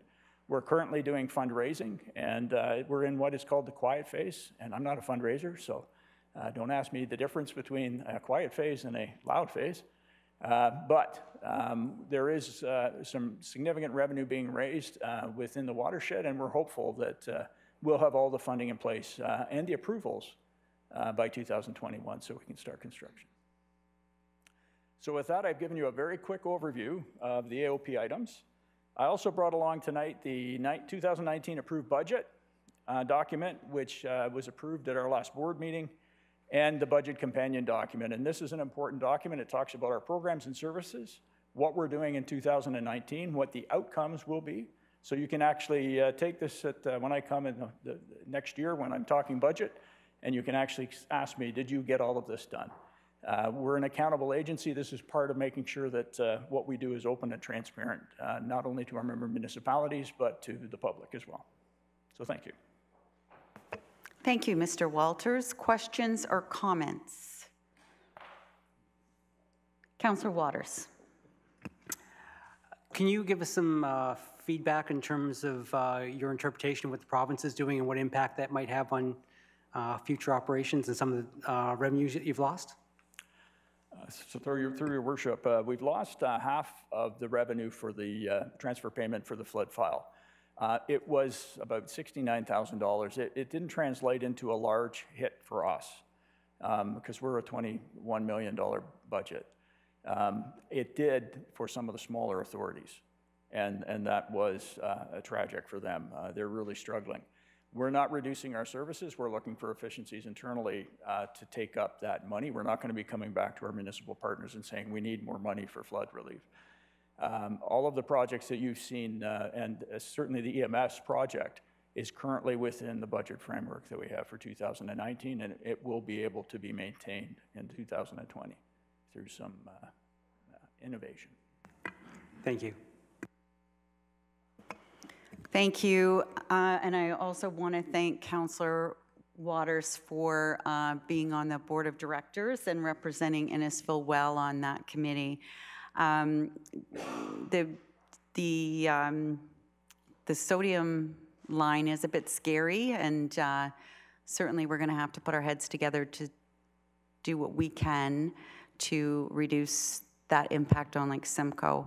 I know that we already, uh, and Mr. Inwood could um, talk further on this, but we already do uh, a a different salt sand um, compound than, say, our our neighbor to the north in order to uh, have less impact.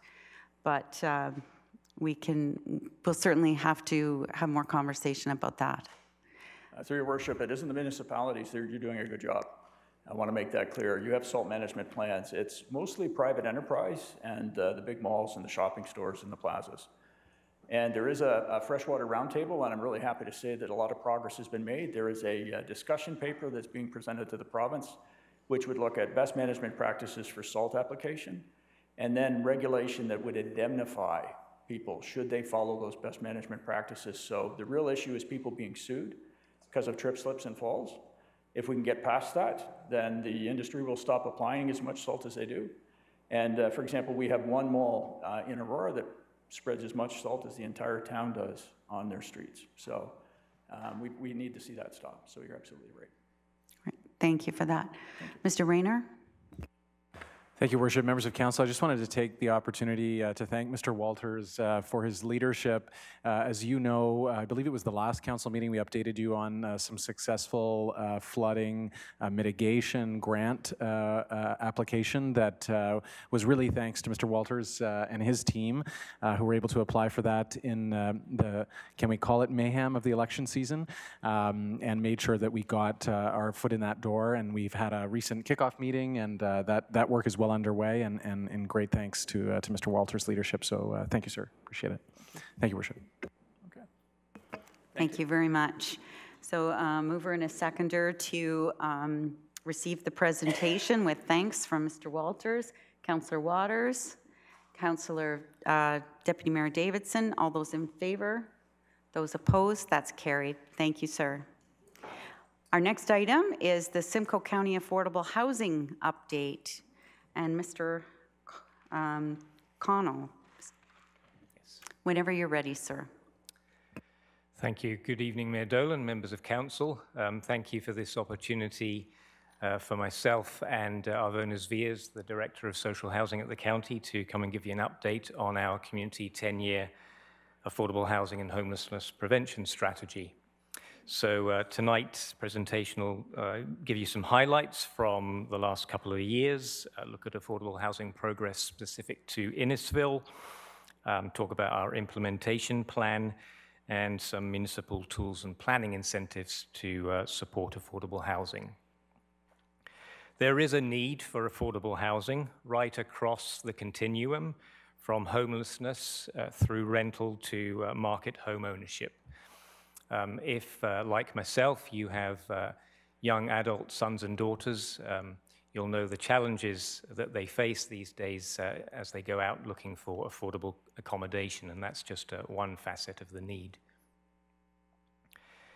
In 2010, the province of Ontario introduced its own long-term affordable housing strategy, and that contained a requirement for service managers, which in this area would be the County of Simcoe, to develop 10-year housing and homelessness plans. So uh, in 2014, County Council approved our plan. Um, it includes a target to create 2,685 new units over 10 years.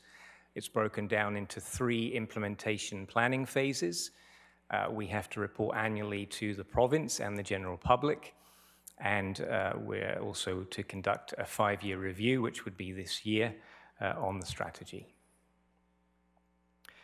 So, with the uh, in, um, introduction of uh, the county's 10 year plan, a new committee of council was struck, the Affordable Housing Advisory Committee. That comprises six elected representatives from north, south, east, and west of the county, as well as Barrie and and also six uh, non-elected representatives who represent the private, health, and community sectors. Uh, as well, uh, a municipal liaison group was struck, um, and I actually see I'm wearing the same jacket that I was when that photograph was taken.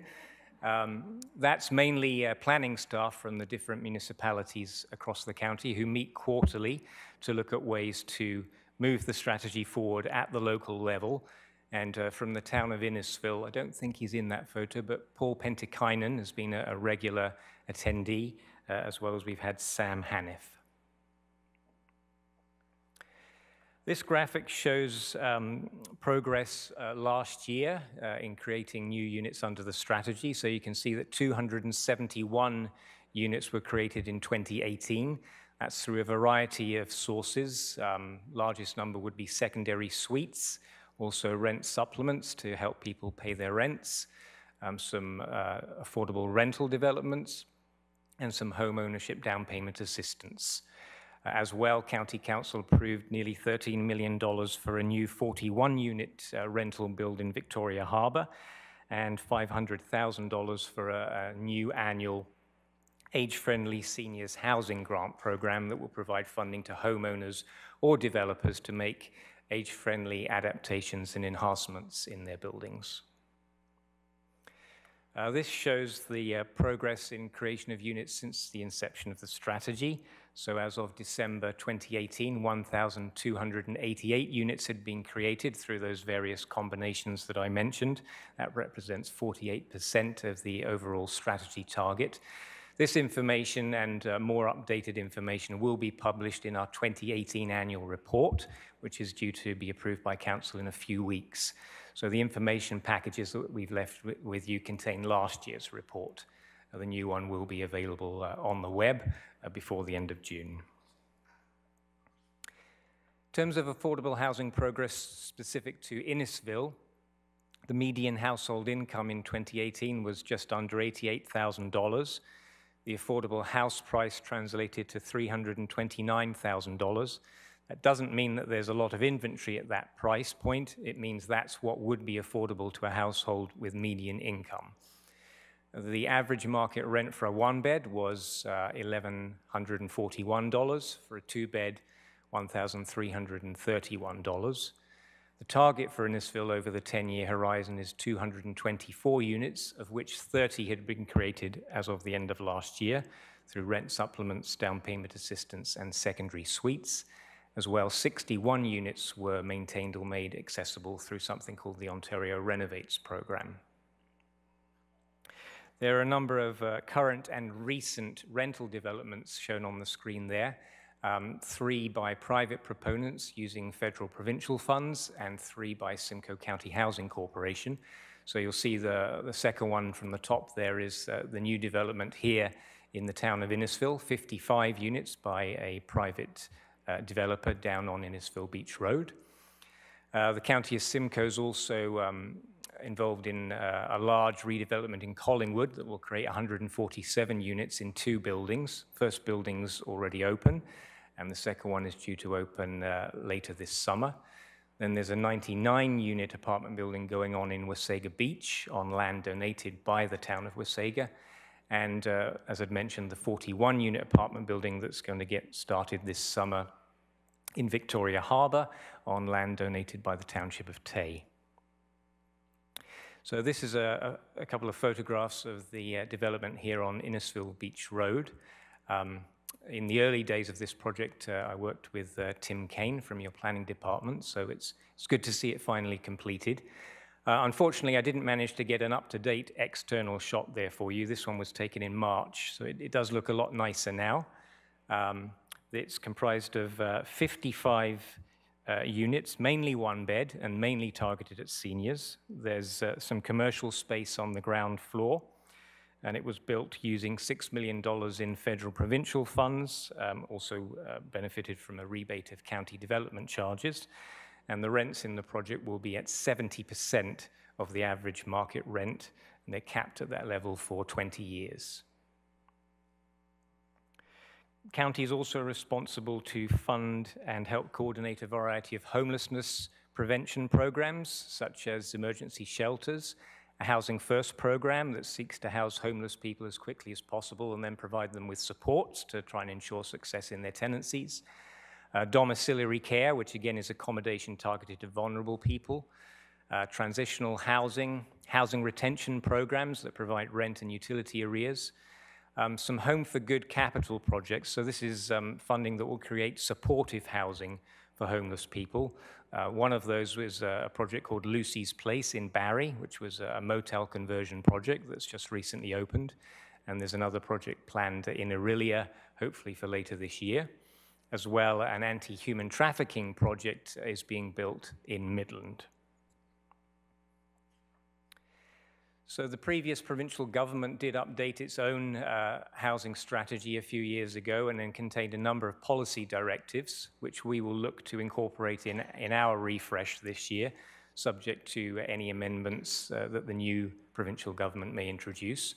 So that would include focusing on uh, ending or reducing homelessness, uh, the needs of Indigenous people, and supporting the non-profit and co-op sector as well as the private housing market. As I mentioned, our implementation plan is broken down into three phases. Phase one is complete. We're now in phase two, which takes us to the end of 2020. So within that, there's a target to create 895 units. There's also, also a variety of uh, recommendations for action, including working with all levels of government to bring the um, official plans into conformity with the growth plan, uh, and continuing with the municipal liaison group uh, as a means to look at moving the strategy forward locally. So to that end, um, the county, in conjunction with its stakeholders, did develop um, a best practices uh, toolkit of uh, tools and planning incentives that could be used by local municipalities to stimulate affordable housing development. So a fairly comprehensive list you'll see there. It could include all or any of these, um, or a, variation thereof, um, things like development charges relief, property tax incentives, waiving of planning and building fees, reducing parking requirements, and providing surplus land. At the end of 2017, the federal government introduced its national housing strategy. That's a 10 year, $40 billion plan to create affordable housing, preserve existing social and community housing um, through a broad range of uh, programs and funding sources. One of those is, uh, well, there's two actually. There's two low interest repayable loan programs out there that are available to private or nonprofit groups or municipalities uh, to build affordable rental housing. So going forward, um, there will be further rollout uh, by the federal government of its national housing strategy. The new provincial government has already announced some more funding for affordable housing, and they're both working on something called the Canada Ontario Housing Benefit, which is slated for introduction next spring, which um, we don't have all the details of, but it'll be some sort of portable rent subsidy uh, presumably for lower income households. Uh, the provincial government just in the past month also released its housing supply action plan. Um, you may have heard of Bill 108 with a number of proposed changes to the Planning Act, the Development Charges Act. Um, the, the, stated aim of that plan is to in, uh, increase the supply of housing in general um, with um, uh, with the assumption that that will also stimulate uh, an increase in affordable housing. Uh, where there's an encouragement to um, increase collaborative planning with the health sector around things such as mental health and addiction services, uh, working with the Ontario Aboriginal Housing Services on like affordable housing programs, and uh, to con continue the work uh, of engaging with our member municipalities um, to support affordable housing locally. I'd be happy to take any questions or comments. Thank you, Mr. Connell. Questions or comments? Count, Councillor Waters. Um, in, in a lot of the text that you have here, I was just wondering, I don't hear, I don't see anything that applies to ongoing operating costs in terms of trying to reduce those. And my interest is around, is there any uh, policies or strategies around making these units more energy efficient and around their sustainability for operating costs. For a minor increase in the development of the building, uh, the operating costs can be dramatically uh, reduced. So I didn't know or not uh, if, if there if you have any if you had anyone on expertise in terms of who did that for you, or do you plan that into your uh, your your existing structures you're building? Um, under the um, funding programs from the federal and provincial government, such as the one that the development uh, here in Innisfil was built under. Um, it did contain um, requirements to uh, target energy efficiency. It wasn't particularly aggressive in the requirements, other than that you had to build to code, and we know that code is getting increasingly, it has its energy efficiency requirements. Um, in Simcoe County Housing Corporation builds, we very much do look to build in um, energy efficiencies, particularly with um, simple energy efficiencies in, in getting the building envelope tight and right, and use of energy efficient windows and products. Under some of the programs under the National Housing Strategy, there are requirements if you wanted to access their low cost loan programs uh, that, that, go, I believe, above and beyond the Ontario Building Code uh, in terms of both energy efficiency and accessibility requirements. That obviously adds a premium to the costs, but it is, um, it is something that is targeted under those funding programs. Um, as, sorry, as well, uh, Councillor, just uh, a thought in terms of our social housing portfolio. So I've been focusing on affordable rental, but the social housing, which might have been the old Ontario housing that, that the county uh, has inherited and is also run by non-profit and co-op groups. Um, there are um, funding programs for um, capital repairs and improvements, and again, under those programs, there's usually requirements around energy efficiencies in, in the work that's carried out with funding. Just to follow up, I, I, know at the federal level there's lots of funds available for innovative projects around affordable housing, and so it would, I don't know if, if, if you've looked into those, uh, but they seem to be looking for projects uh, that are innovative around affordable housing and, and include sustainability in those. So it might be a way of, of getting that, those upfront costs, because I know that often scares away um, uh, people looking at those, but the ongoing reduced costs are, are, are what you're really interested in when you're, especially when you're looking at people who can't afford their, uh, those utility costs and that kind of stuff.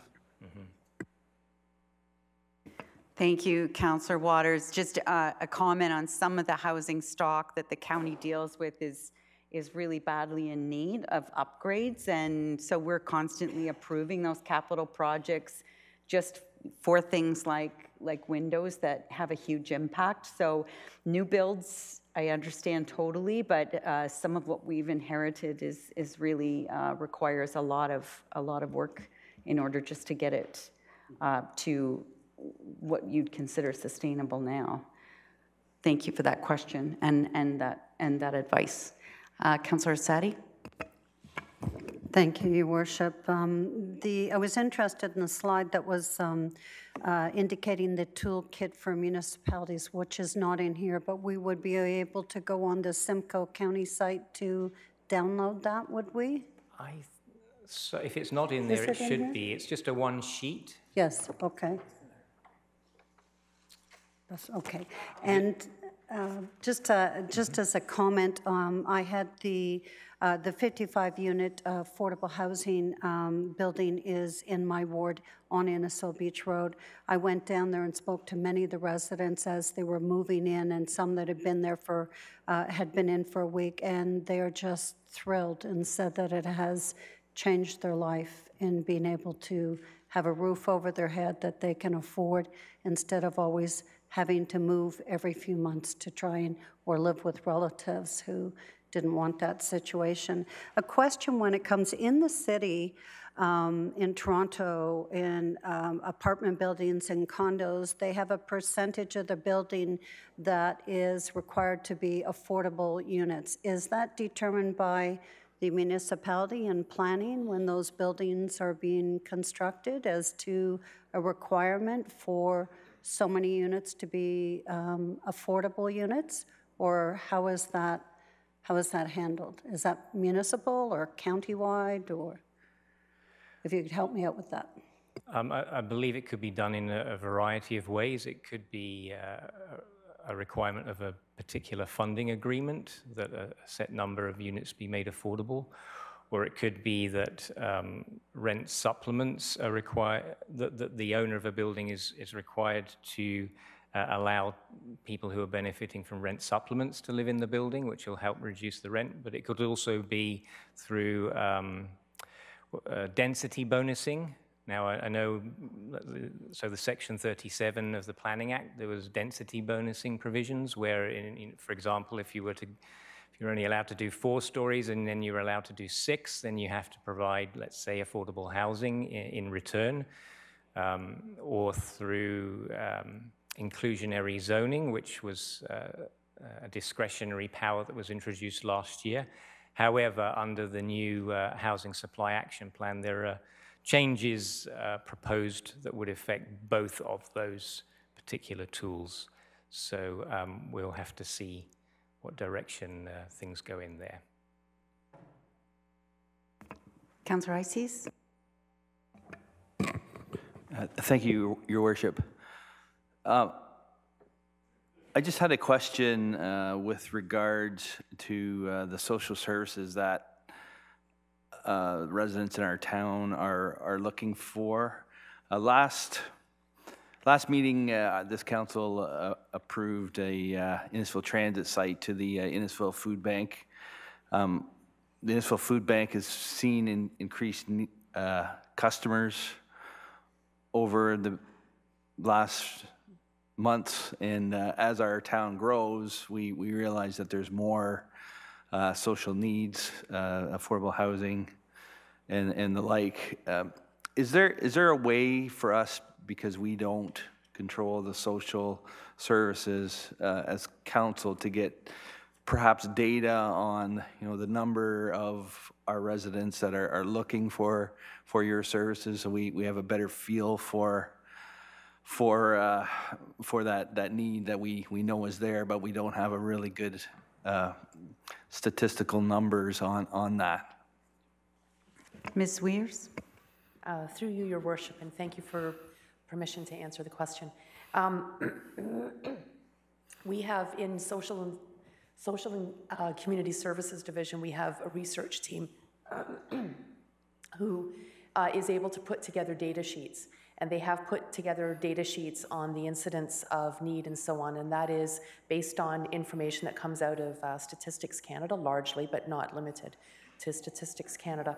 Um, and as a follow up action item, we could uh, go back to that research team and ask that uh, a, research page that is based on this area of the county um, be circulated over to you. I know we've, we've they, that team has produced already some research pages. It might be that they are county-wide, but focused on, for example, target populations such as seniors or children and youth, or it could be that they are um, focused on areas such as um, north, south, east, and west. But we can follow that up and bring that back, back over to the attention of your, of your staff. Yeah, uh, for me, that would be helpful to, you know, we, we are aware through our uh, volunteer groups of, of the, that comes with our increased population, those, the increased social services, and, and just to have a, a good statistical number behind that would, would help us in some of the, uh, the decisions that we make with policies and, and whatnot. So, thank you. Okay. Thank you, Councillor Eisses. And I know from time to time at County Council, we do get reports on, you know, number of, of residents who are on wait lists and, um, and also uh, the Simcoe County, um, Simcoe Muskoka District Health Unit also provides snapshots on residents in, in areas of the health unit and um, that the issues that are along with that. And it's on their website and I'm happy to, to direct you to that. Count, uh, Deputy Mayor Davidson.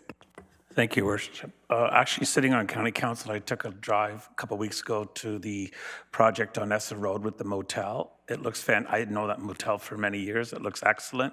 And I know that in Simcoe County, there are many motels probably in the same situation that we can look at for housing for uh, youth and for people on the streets. It's- Take a drive by. They did a fantastic job on it. So uh, I know that also county council has been very generous when we've had a surplus that we've turned around and put it into social housing. It's county council is a big, uh, that's a big job that we really look after very well, okay? We take it seriously. Thank you. Mr. Reynar? Your worship, members of council, I just wanted to thank uh, the county staff and the county team uh, for their good work uh, in this area, and, and very, very pleased to hear that the county is entertaining some innovative approaches to uh, affordable housing. Uh, I can't go into the details just yet because we're still discussing it, but uh, the former warden, Gerry Marshall, has some pretty interesting opportunities that are partnering with corporate social responsibility funds uh, to try to provide more funding uh, that is not government-based, but in fact private-based, uh, with uh, limited returns in this area. And so we look forward to continuing uh, those uh, discussions with former Warden Marshall and the county staff. Thank you. Thank you, Mr. Reynar, and thank you very much, Mr. Connell and Ms. Weirs, for being here tonight. It's always good to get that update. Appreciate it very much. So the recommendation is that the presentation be received, and it's received by Councillor Orsatti and seconded by Council, Deputy Mayor Davidson. All those in favor? That's carried. And our next presentation is from Jody Longland, Programs Coordinator, who's going to talk to us about the uh, Speak Your Mind Mental Health Summit that we just um, that we just held, and um, Tammy Botham as well. Thank you for being here, and whenever you're ready. Thank you, Your Worship, uh, Council, residents, and staff. Um, We thought we'd take this opportunity to add in um, some of our summer community outreach programs. Um, So uh, Mayor had invited uh, Jody to come and speak, uh, speak about her Speak the Mind a mental health event that happened last Wednesday. Um, So we are going to first talk about um, our mobile youth center. So last summer, um, we were able to launch a mobile youth center for the community. Um, It was uh, in different areas of our community, uh, Monday to Friday. Thank you. Um, Monday to Friday um, from 1 till 3 p.m. We had um, lots of youth um, participate um, in our mobile youth center. For those that aren't familiar with it, we developed a mobile uh, youth center um, a year and a half ago um, because we didn't want to pick a youth area that we were only promoting in that area. So we've got this wonderful trailer that has mobile skate ramps, um, basketball net, um, scooters, gigantic uh, life-size games, uh, variety of other things um, we'll be adding as we go through also. So this year it's very exciting that we're going to expand our hours. Um, the original um, program was for um, our teens. It did end up um, that we were getting a younger crew out, so we actually thought we would do two time slots. Um, one for our, our younger um, generation, and then two, we're hoping for the four to six, uh, six time slot, we would get more of our teenagers out. And we've moved a few of our locations, so our locations are listed there, um, and we will be starting uh, the beginning of July. So there'll be more advertising and social media come out about that, but um, that will be launching shortly. Our other um, outreach program that was um, brought forth in 2017 um, is our Neighborhood Nights. Our Neighborhood Nights is a variety of our uh, departments together going out to the community um, in a non um, staff related um, environment, and we're out to uh, do games with the children. Um, Fire um, does a splash um, evening. Um, the children get to an opportunity to do uh, the run the hose along with their parents. We've had lots of parents interested in that also. The library brings anything from their electronic games to a variety of other things. And again, we bring out uh, leisure services, bring out our mobile youth center. Um, so again, we will be launching that um, on June uh, 18th and um, we will be in everybody's backyards. So we try to pick areas that don't typically have our services. Um, so we will start in June with uh, Cookstown.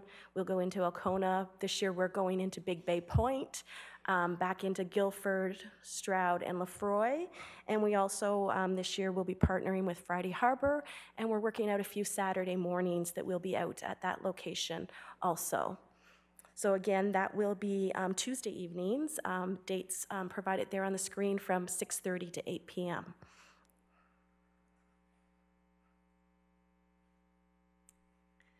Um, so this year we've uh, launched again the Youth Connect Committee.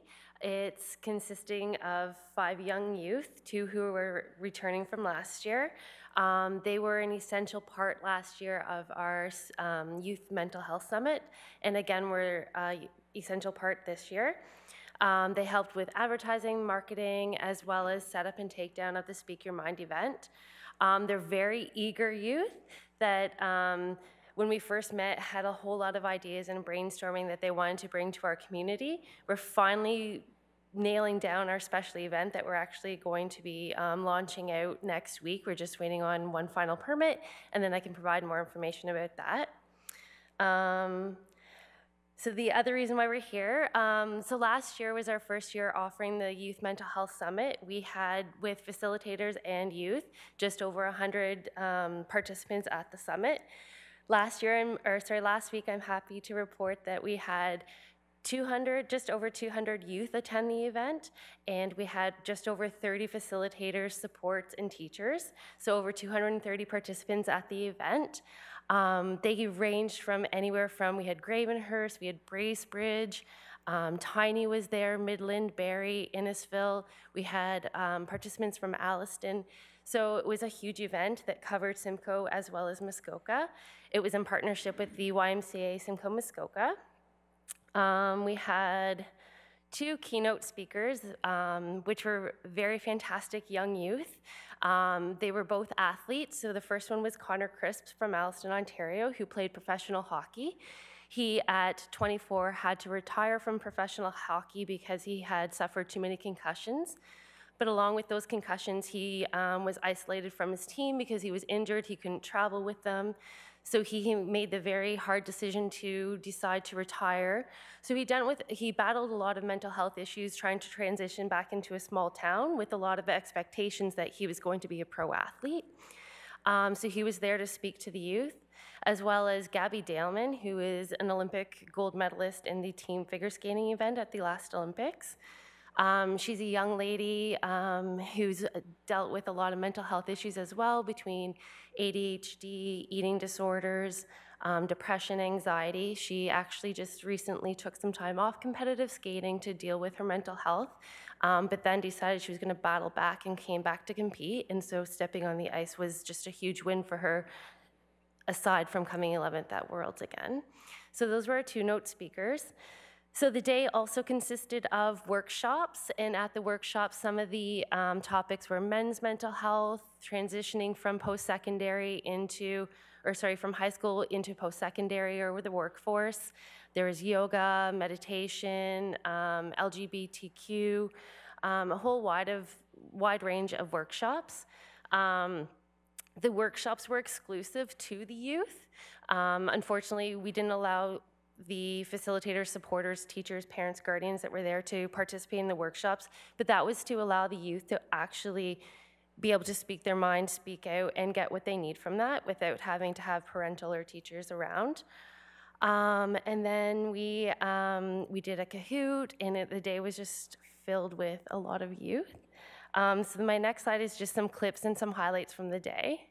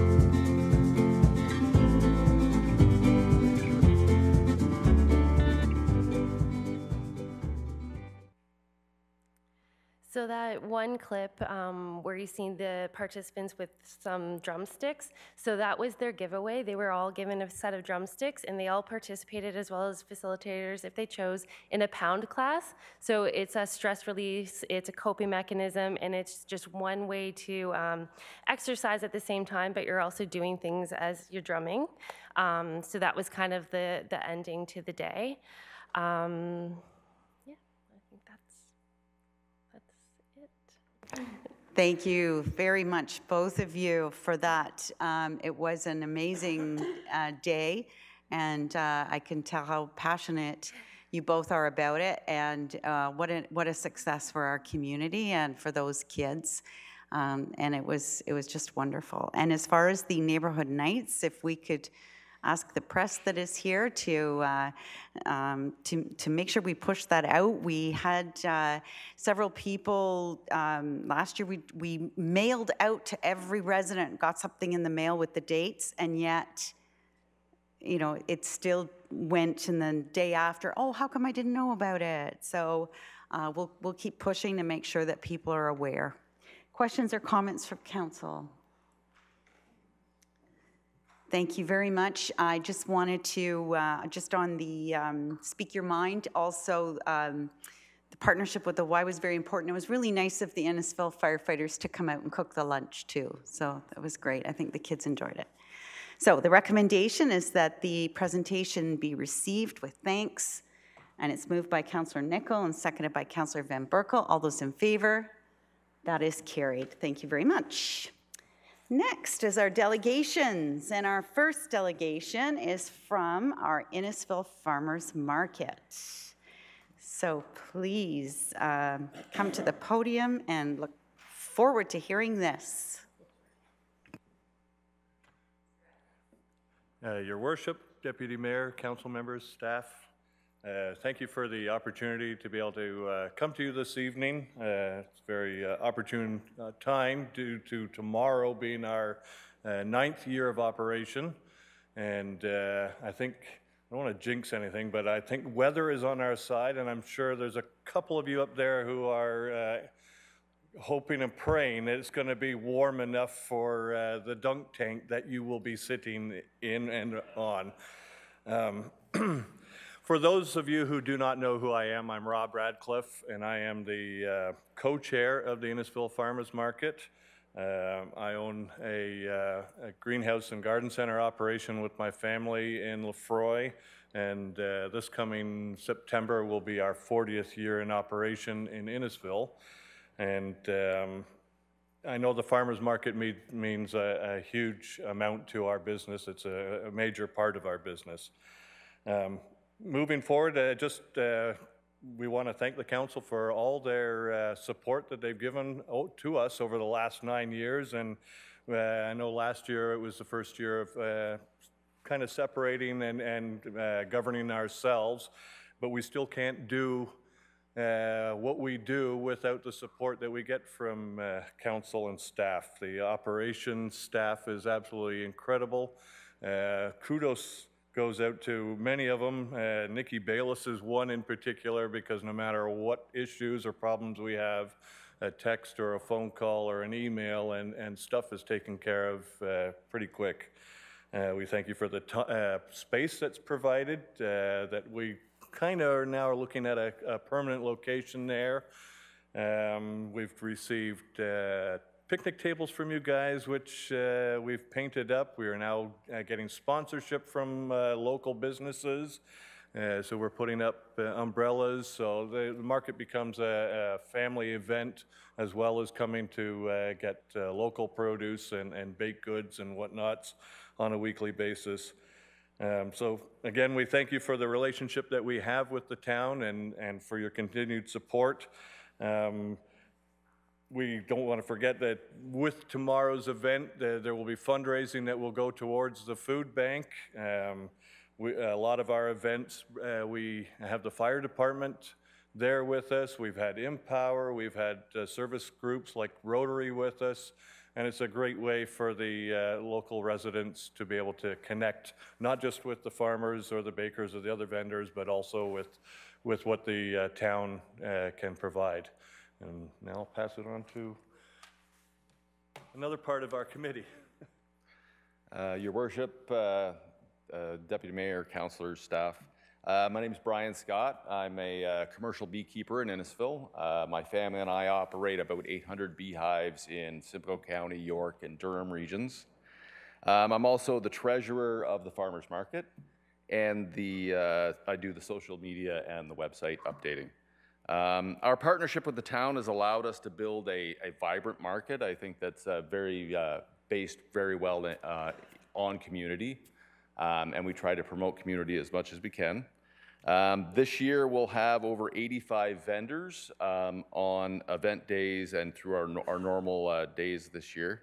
Um, we've actually had to turn away vendors this year that applied uh, because the word's getting out that we're a good market um, and you can make money there if you show up. So uh, we get a lot of vendors applying, which, which allowed us to be a little more picky than we've normally been and picking vendors that will build a market that will make people want to come to us. Um, the, uh, we're also, the market is on uh, the Simcoe County Honey Trail. Simcoe County Tourism has, has developed the honey trail. Uh, myself, the farmers market, and uh, a couple other local beekeepers are on that market, are on that honey trail map. Um, and the Simcoe County Tourism will be promoting that map throughout Ontario, trying to drive more people to uh, hopefully Innisfil and, and spend money in our community. Um, I would like to thank uh, the town uh, for the grant we received last year. Um, The money was uh, greatly needed and used quite wisely um, with staff recommendations. Um, And uh, we kept within budget, which was nice. Um, And uh, we're looking forward to hopefully getting the same amount this year as uh, recommended by the staff report that's been submitted. Um, I'd also like to thank uh, Madam Mayor um, and the councilors and town staff that have uh, volunteered to open the market tomorrow. You're quite brave. Um, the water's going to be cold. Um, we have a lot of people, I think, lining up to dunk a few people on the podium there. Uh, thank you. Thank you. It doesn't help the tax bills just came out when we agree to sit in a dunk tank. I don't know what I was thinking. That's called timing. Not looking forward to that. I am looking forward to the butter tarts, however. So just for anybody who doesn't know, the market is at the, in the south parking lot of the uh, YMCA, and it's open at 1 until 6 every Thursday, rain or shine, and that, and it goes till, I think, the week before Christmas. So, or two weeks, I don't know, somewhere near Christmas. So it's, uh, it's great. Uh, Make it part of your routine. Uh, You won't regret it. Comments or questions from council? Councilor Orsatti. Thank you, Your Worship, and thank you. Uh, Congratulations on the success of the market. It's, it's nice to be able to go there and, and shop locally. Um, uh, Just one thing, I know that you've been moved to the, the south uh, uh, parking lot, and that's your setup. Uh, The Rib Fest is coming up. I know that they uh, start setting up on Thursday on that week. Are you moving to the north lot, or? We go to the, To the InnPower. In power, and so will that be publicized so people know where to go? Can we get that communication out in the town? Great. And one other question that I, I have, you may be able to answer. Um, we have a report um, from the, uh, the farmer's market update. And when I was looking, reading the report, it talked about um, the data of people coming. Um, previously, there, it used to be uh, 21% of the people attending and using the market were from Barrie, 62% from Innisfil, 17% were tourists. However, recently, it's been 61% from Barrie, and Innisfil's dropped down from 62% to 19% attendance. Is it, do you think it has anything to do with the time change because we're a commuter town, or any comments on that? Yeah, we, we just switched the time. This will be the first year going from, uh, starting at one, going to six. Um, the, uh, the timing was decided on because, uh, most people don't show up between six and seven. So I don't think it's because of the being commuter town that way.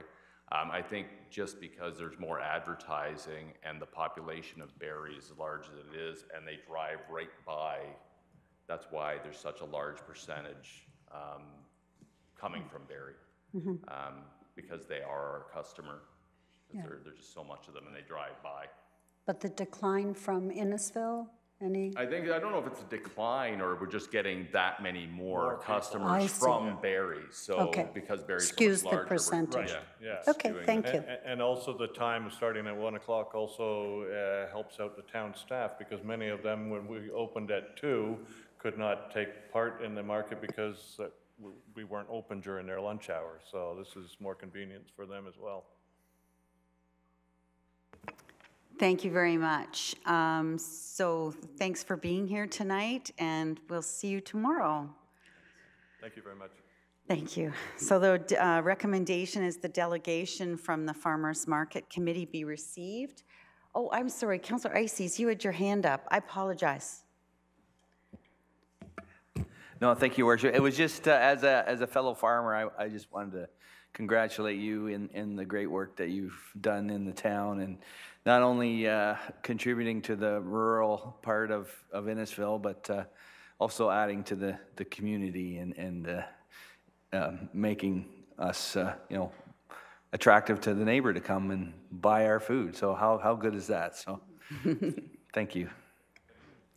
Thank you. I apologize, counselors. So uh, moved by Counselor Eisses and seconded by Counselor Orsatti. All those in favor? That's carried. So uh, next we have uh, Dr. Carolyn Allen, who's going to talk to us about train whistles. Welcome, Ms. Allen. Thank you for being with us.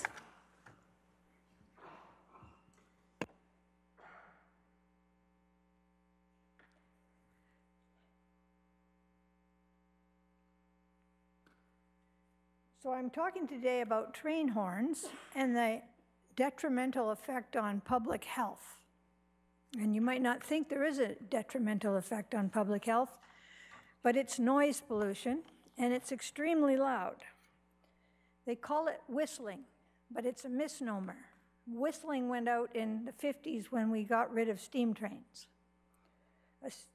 Air horns, which is what they use today, produce 110 to 150 decibels of sound. A loud rock band produces 125 decibels. Train horns are required to begin blasting 15 to 20 seconds before hitting the intersection at a crossing, and they are in, to blast two, two longs, one short, and a long, all through the intersection, which seems to be a bit of overkill since if you're in the intersection, blasting a horn at you isn't going to do any good. A steam train whistle sounded once. The decibel scale is logarithmic, so for every three decibels, the sound is doubled. So you can imagine how loud these train horns are. It's a worldwide concern. There are hundreds of thousands of communities that are complaining about train horns. From California,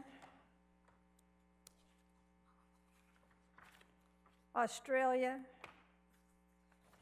Markham, Saskatchewan, and generally GO trains in Wilmot Creek, that's near Hamilton. But they're all over the world. They're a real danger.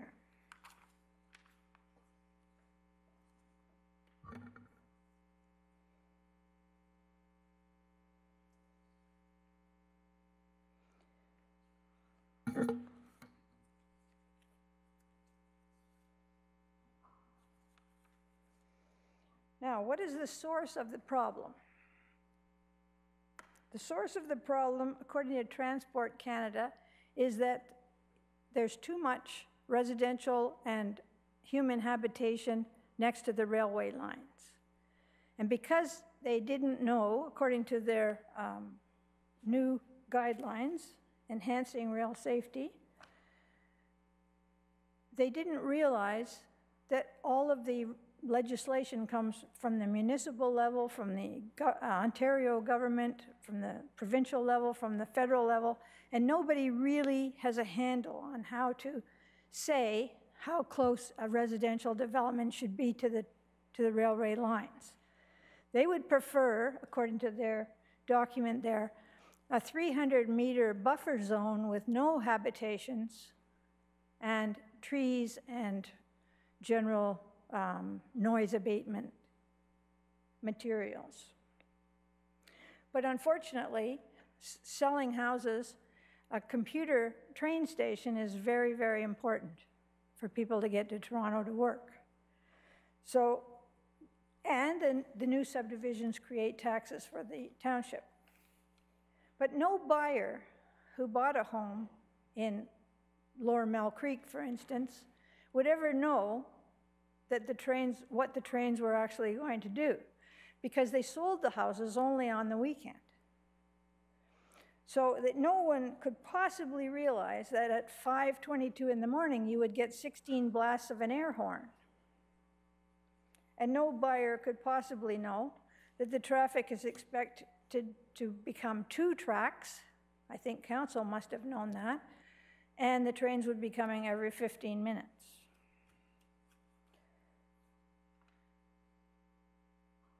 Why blast the horn so much? It's supposed to be for safety. And it's true when you have a crossing on private land or you don't have any other um, safety features. The reality is that routine train horn blasting with a, a, a crossing that has uh, equipped with lights, bells, whistles, and gates, it doesn't make any difference. The best thing to do is to, to provide a horn right at the crossing so that when the train is 10 to 15 seconds out, a horn blasts at the crossing. This is less noisy and it's more efficient. Now, th- they recommend that human behavior is a cause for most of these accidents that happen. And human behavior is either suicide, and they have no idea exactly how much of the problem is suicide because nobody has studied it. The other thing is risk taking behavior, and I know a little bit about that because in my previous life, I dealt with youth at risk, and we had a lot of youth that did very risky behavior.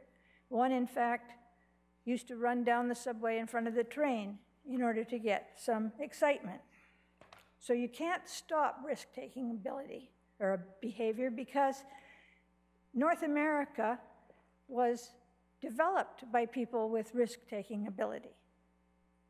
Otherwise, they would never have come. So it's something that we have to think about, and Operation Lifesaver is something run by the government that is very good as far as teaching children the dangers of being on the tracks. Causes of accidents, mostly they're main track collisions and derailments. Crossing accidents are only 16.5%, and they are, would be prevented if education was provided for the people who use the crossings. And I'm thinking of elementary school right through because people take it for granted that they can just race across and they won't get into any kind of trouble. And most crossing accidents involve intentional disregard. So I'm speaking to you now because the train horn itself is very detrimental to health, especially for elderly and for children. Fetuses and newborn, particularly, but younger children and adolescents. For 17 years, I worked as a consultant to psychologists, psychiatrists, medical doctors, childcare workers, teachers, and parents of children in crisis. One in five young people have a mental condition severe enough to seek treatment. And the Washington Post just recently wrote that medical, mental health problems are increasing among the young due to lack of sleep, causing depression and anxiety. The World Health Organization has guidelines for nighttime noise. It's best to sleep with the window open and in generally quiet areas that we have around here in the night. Noise over 45 decibels should be very limited. Obviously, four blasts of an air horn at the crossing at 110 to 150 decibels is against these guidelines. And the sound levels are in excess of the Ministry of the Environment and Climate Change at the first row of dwellings with exposure to the railway line due to train whistles.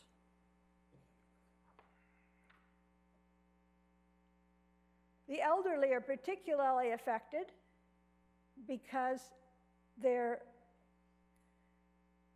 the stimulation during the sleeping hours causes high blood pressure, sleep disturbances, increased motility, cardiovascular disease and strokes, increase in heart rate, and exacerbation of dementia.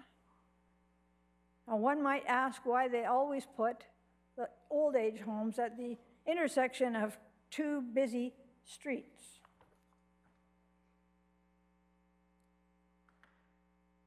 And from the Academy of Pediatrics, you can get low birth weight, particularly with female fetuses, hypoxia, which is a deficiency of oxygen, with sudden loud noise exceeding 80 decibels, the increased risk of shortened gestation periods, that's premature births, and effects on normal growth and development.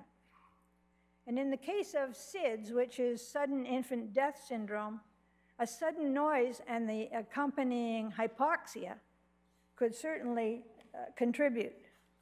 And that needs more study.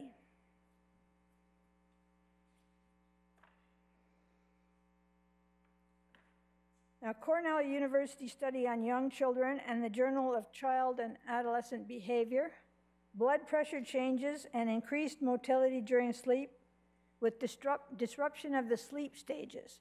As you know, we go through several stages when we sleep, and uh, the deep sleep is where we actually do any healing of the, anything that happens through the day. So you would get daytime sleepiness, problems with sustaining attention, circadian rhythm disorganization leading to endocrine imbalance, and that improves or increases your cortisol. And you may have heard that because it causes obesity, cortisol. And it also causes type 2 diabetes. Ms. Allen, I'm sorry to interrupt. Can you tell me how many slides you have left? Because I really want to make sure there's time for questions and answers. Uh, three. Thank you. Adolescents require the most sleep because they're growing fastest. Adults, they generally say they're not affected, but they don't realize they're affected. Their blood pressures go up, they end up with hypertension, and they don't want to admit they're bothered. And they also may take sleep aids, alcohol, or drugs. Now, purchasers were required to sign a release if they were within 300 meters of the rail line, but the train horn carries for thousands of meters. So, what can be done? I've written letters to Andrea Corkin at uh, VIA or Metrolinx, and for the most part, these were ineffective, but she did pass on the one, one my latest one, to the engineers. And some of them have been nice enough to reduce the amount of horn volume and horn duration because, but others seem to feel it's really fun to just pull on that horn and let it go for a long time. So the lowest horn setting they can produce, according to the law, is 96 decibels, which is significantly less than 110 or 150. So I thought that maybe council could write to the engineers, you would have more um, pull, I guess, than I do, and ask that they reduce the intensity and the duration of the honks in the sleeping hours from 11 to 8.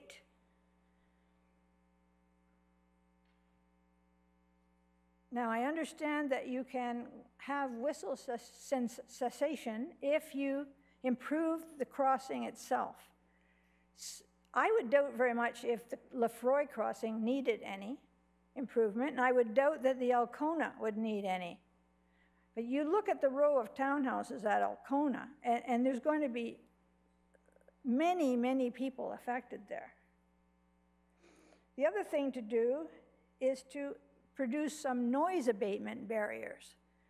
Now, in the daytime, when the trains go north, it's not a problem. Everybody's up, there's lots of ambient noise, and, it, and it's not difficult.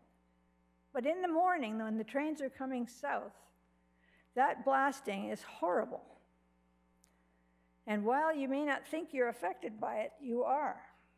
So I think something needs to be done for the health of the residents along the line, especially the people in the townhouses who generally are in entry level houses and have small children. And it's the small children that are most affected.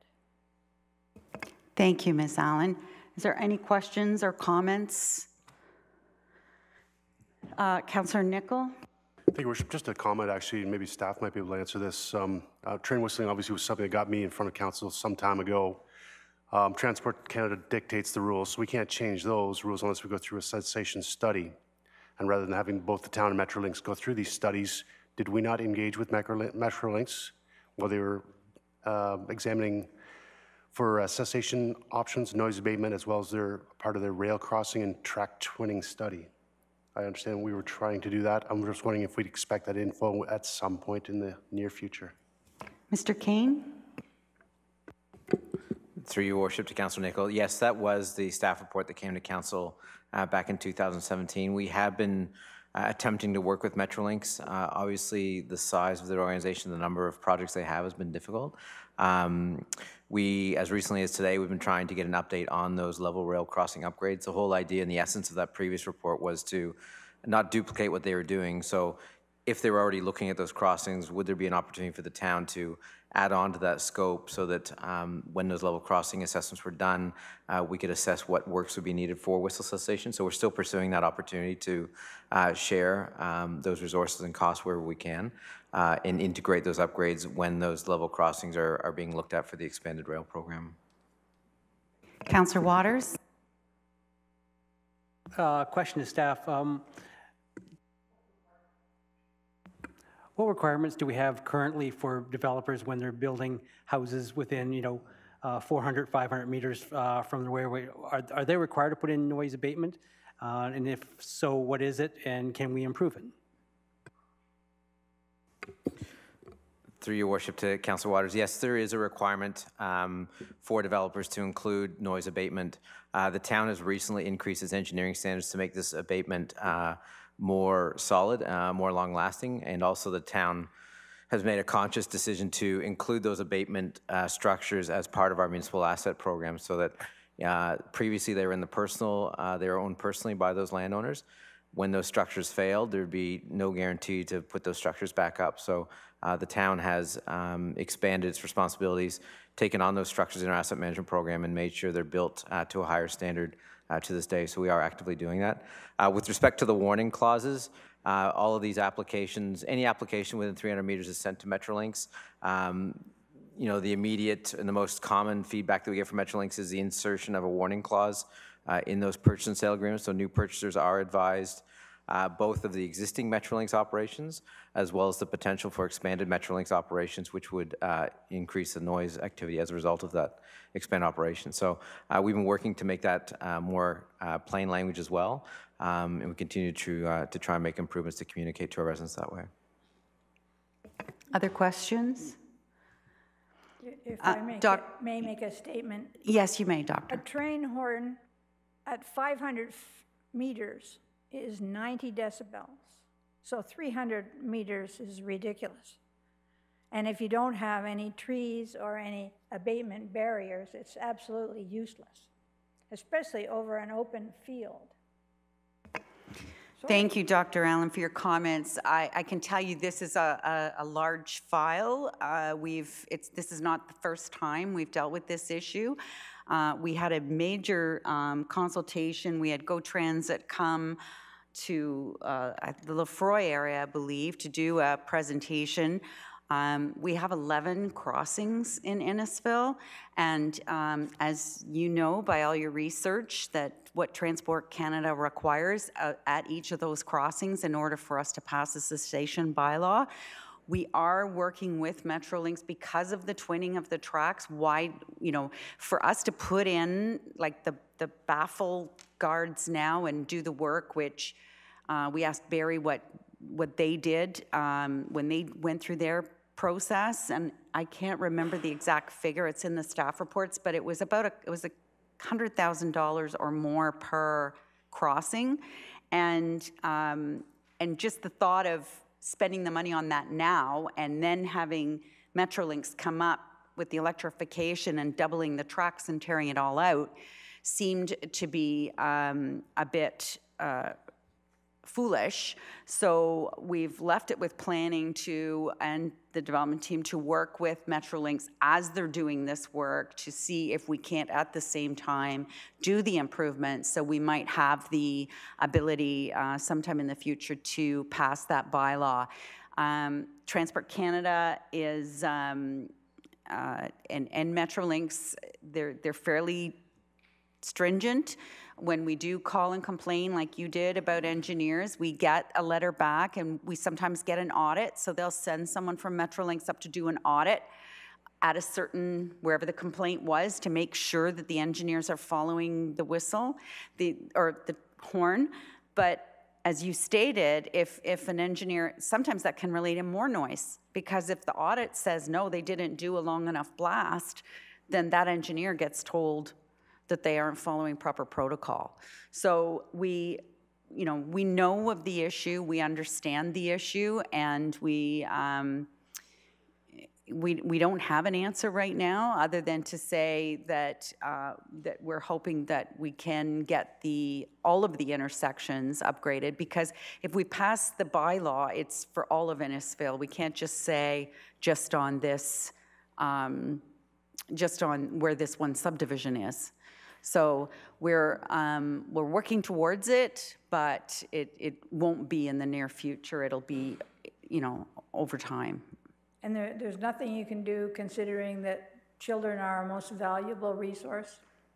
I, to- I totally understand and appreciate all of your research and hard work.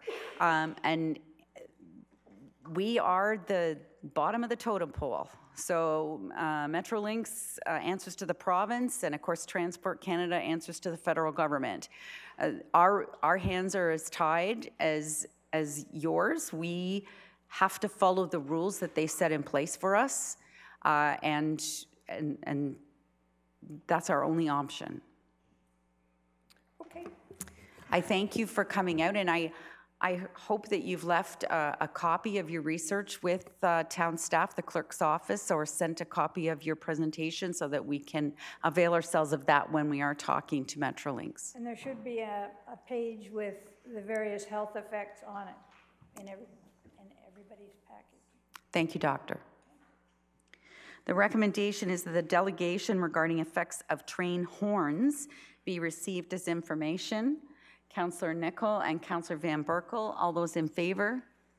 That is carried. Next is item seven, which is County Council. Um, Any updates from municipal associations, conservation authorities, committee updates? Councillor Waters. Uh, Just a quick one, and because Mike uh, Walters was here already, he, um, he brought forward the point that was uh, emphasized at our Conservation Authority meeting was the impact of salt over the next 50 years. Um, I can't state emphatically enough how important this is for us to address. Uh, My question is to, uh, one one item that was brought up is that there was a, uh, a group called Smart About Salt Council, and they do training for, uh, for contractors that certifies owners and managers about uh, salt application. And do we require, um, A, the, the, the private companies that do our, our properties, do we uh, require them to be certified? And B, do we have any other requirements of private contractors doing private property? Mr. Inwood? Uh, Thank you, Your Worship. Through you to Councillor Waters. Um, Proud to say that uh, when the Smart About Salt program was first launched, Innisfil was the first uh, municipality in Simcoe County uh, to adopt the Smart About Salt principles and mandate it as a certification in our contracts for our contracted services. Uh, So it is uh, something that we live by every day uh, and regulate. It's very similar to how we do with our our salts on our roads. Um, We do not have any um, authority at this point over private contractors on private property, uh, but happy to consult with them if they wished and, and, and share them, share with them the, the knowledge that we've gained um, through the process of, of working with uh, Smart, Smart About Salt. Thank you. Any other comments? County Council? Anyone else? I just have on, on the, on County Council, there was uh, one thing that I was uh, quite excited about.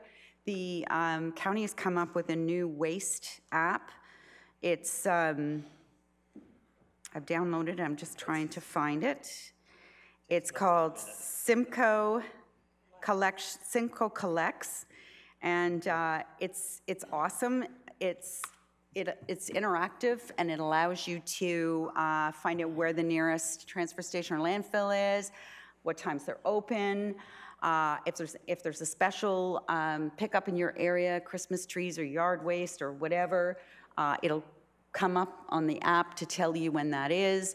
If there's a interruption in your collection for some reason, if there's an issue, you'll be told about it based on your address. So it's a wonderful tool to use, and I would uh, encourage everybody to download it. It's free. And it is free. Thank you. And um, other than that, the um, Accessibility Committee came to our, the Simcoe County Trade Show, and they did a wonderful job representing uh, the Innisfil Accessibility Committee, and I think that they were very proud to see how far they had come compared to some of the accessibility committees in, in Simcoe County, which is a mandated legislated committee. And then finally, the Police Services Board I attended, and we're currently um, advertising for uh, a public member of the Police Services Board for any interested uh, people who think that they uh, might like to serve on that entity, um, that the applications are being accepted uh, by the clerk's office. Yes, thank you. Anyone else? Seeing none, then we'll go into the consent item list. So this is where we go through all of the uh, staff reports and the items, the minutes, and uh, we any of them, any of them that we pull will have further discussion. Any that are not pulled are deemed to be that this the report that's uh, the recommendation that's in the report will be deemed to be accepted, and we'll accept that as we go into back into council at the end of the meeting. So we'll start with item A1, which was the special council meeting dated May the 22nd. A2, the regular council minute, meeting minutes dated May the 22nd. B1, the Innisfil Park Beach Ad Hoc Committee report. Councillor Orsatti? Refer to committee. Thank you. B2, the School Zone Traffic Safety Advisory Committee report. Uh, Deputy Mayor. Thank you, Worship. Just a point, I was reading the report about that particular uh, school area and the next one that's coming up. And it seems to be a common denominator. It's the parents who are not abiding by the laws that are currently in place in those school zones. It's parents who are speeding, it's parents who are illegally parking. I think the problem is within our own community and getting the message out to those parents and having bylaw, do a blitz. Again, like I said on Innisfil Beach when they get enough tickets, they, they'll start paying, they'll start listening. That's it, thank you. Thank you, Deputy. Um, Item C, standard requests, are there are none. Item D1, the staff report regarding the 20, I'm sorry. Oh, I'm sorry, I missed that. Item C1. Um, Mr. Reynar? Thank you, Worship, uh, and members of council. Uh, and, and, I apologize uh, for this uh, being a last minute add on. Um, I, I, received an invitation. Um, I think uh, while I was at the hospital uh, with my son's birth, uh, from uh, one of our developers in the community, the Cortel Group, uh, who have secured a table at the Vaughan Mayor's Gala uh, 2019. they would like to invite the mayor, the deputy mayor, and myself. Uh, to celebrate uh, that gala with them. Uh, the recent code of conduct that you approved provides for a maximum and, and the clerk can help me uh, if I misstate this, but uh, a maximum amount per event of $200 for the cost of the ticket. The cost of the ticket, because it's a fundraiser for various charities in Vaughan, as I understand it, is actually $500 per ticket. Uh, so um, it, it, requires a resolution of council to exempt this particular event from the code of conduct, if that's your preference. The staff code of conduct actually provides for uh, delegated authority to the CIO, if I, if I recall correctly, for exemptions on a one-time limited basis for specific uh, events. Um, uh, sometimes we don't control the cost of the events, obviously, but it's important for us to continue to do that municipal networking. Uh, and given the nature of this event being a municipal event, uh, uh, I'm certainly see no concerns from my perspective, but wanted to provide you with the opportunity. And again, I apologize uh, for the uh, last minute notice, but it is, uh, the event is actually next week, uh, June 13th. Thank you, Worship. That better be a pretty nice rubber chicken dinner. Sorry, I didn't say that. I take that back. Uh, any comments or questions? So, Mr. Reynar, I don't even know whether I'm free that night, so um, I I can't say, did- does the deputy mayor know if he's free that night? I am free that night. I was made aware of it, but I said that is against our code of conduct, so I haven't replied. So, Your Worship, it's, that's an excellent point. Uh, certainly, um, uh, I'm sure uh, the Cortel Group would be pleased if the resolution actually read or designate. Uh, so, if, if there were other members of council, for example, that wanted to go uh, in your place, or for perhaps another uh, staff member in my place, if I'm unable to attend, because that's an excellent point. I, I haven't checked uh, with your calendars just yet. Just received the invitation. Thank you very much. Thank you. Any other comments or questions? Seeing none, all in favor of the, ex- sorry? Mover and a second. Mover and a seconder, moved by Councillor Eisses, seconded by Deputy Mayor Davidson. And Your what Worship, else did I forget? Sorry, we, because we added it at the approval of the agenda, we added it to the consent list. Um, So provided no one's objecting or Oh, pulling I it. see, then we'll we just- don't need We can that, move on we to the just- next motion, exactly. Okay, all right. So no one wants to pull item C1? Thank you for the direction, Mr. Clerk. Item D1 was the farmer's market update, request for support. Item D2, the uh, field allocation policy, lacrosse, baseball, soccer. Seeing none. D3, the Carson Village Drainage Award, Carson Creek Improvements. I'd like to pull that one if I could. D4, the approval to expropriate 7335 Yonge Street. Seeing none. There's no bylaws and there's no correspondence for action. So the correspondence list for information. Item G1, the memorandum from uh, Ms. Botham. Ca- Counselor Fowler. G2, the town campus walking trail uh, program application. Fingers crossed, we'll get some grants.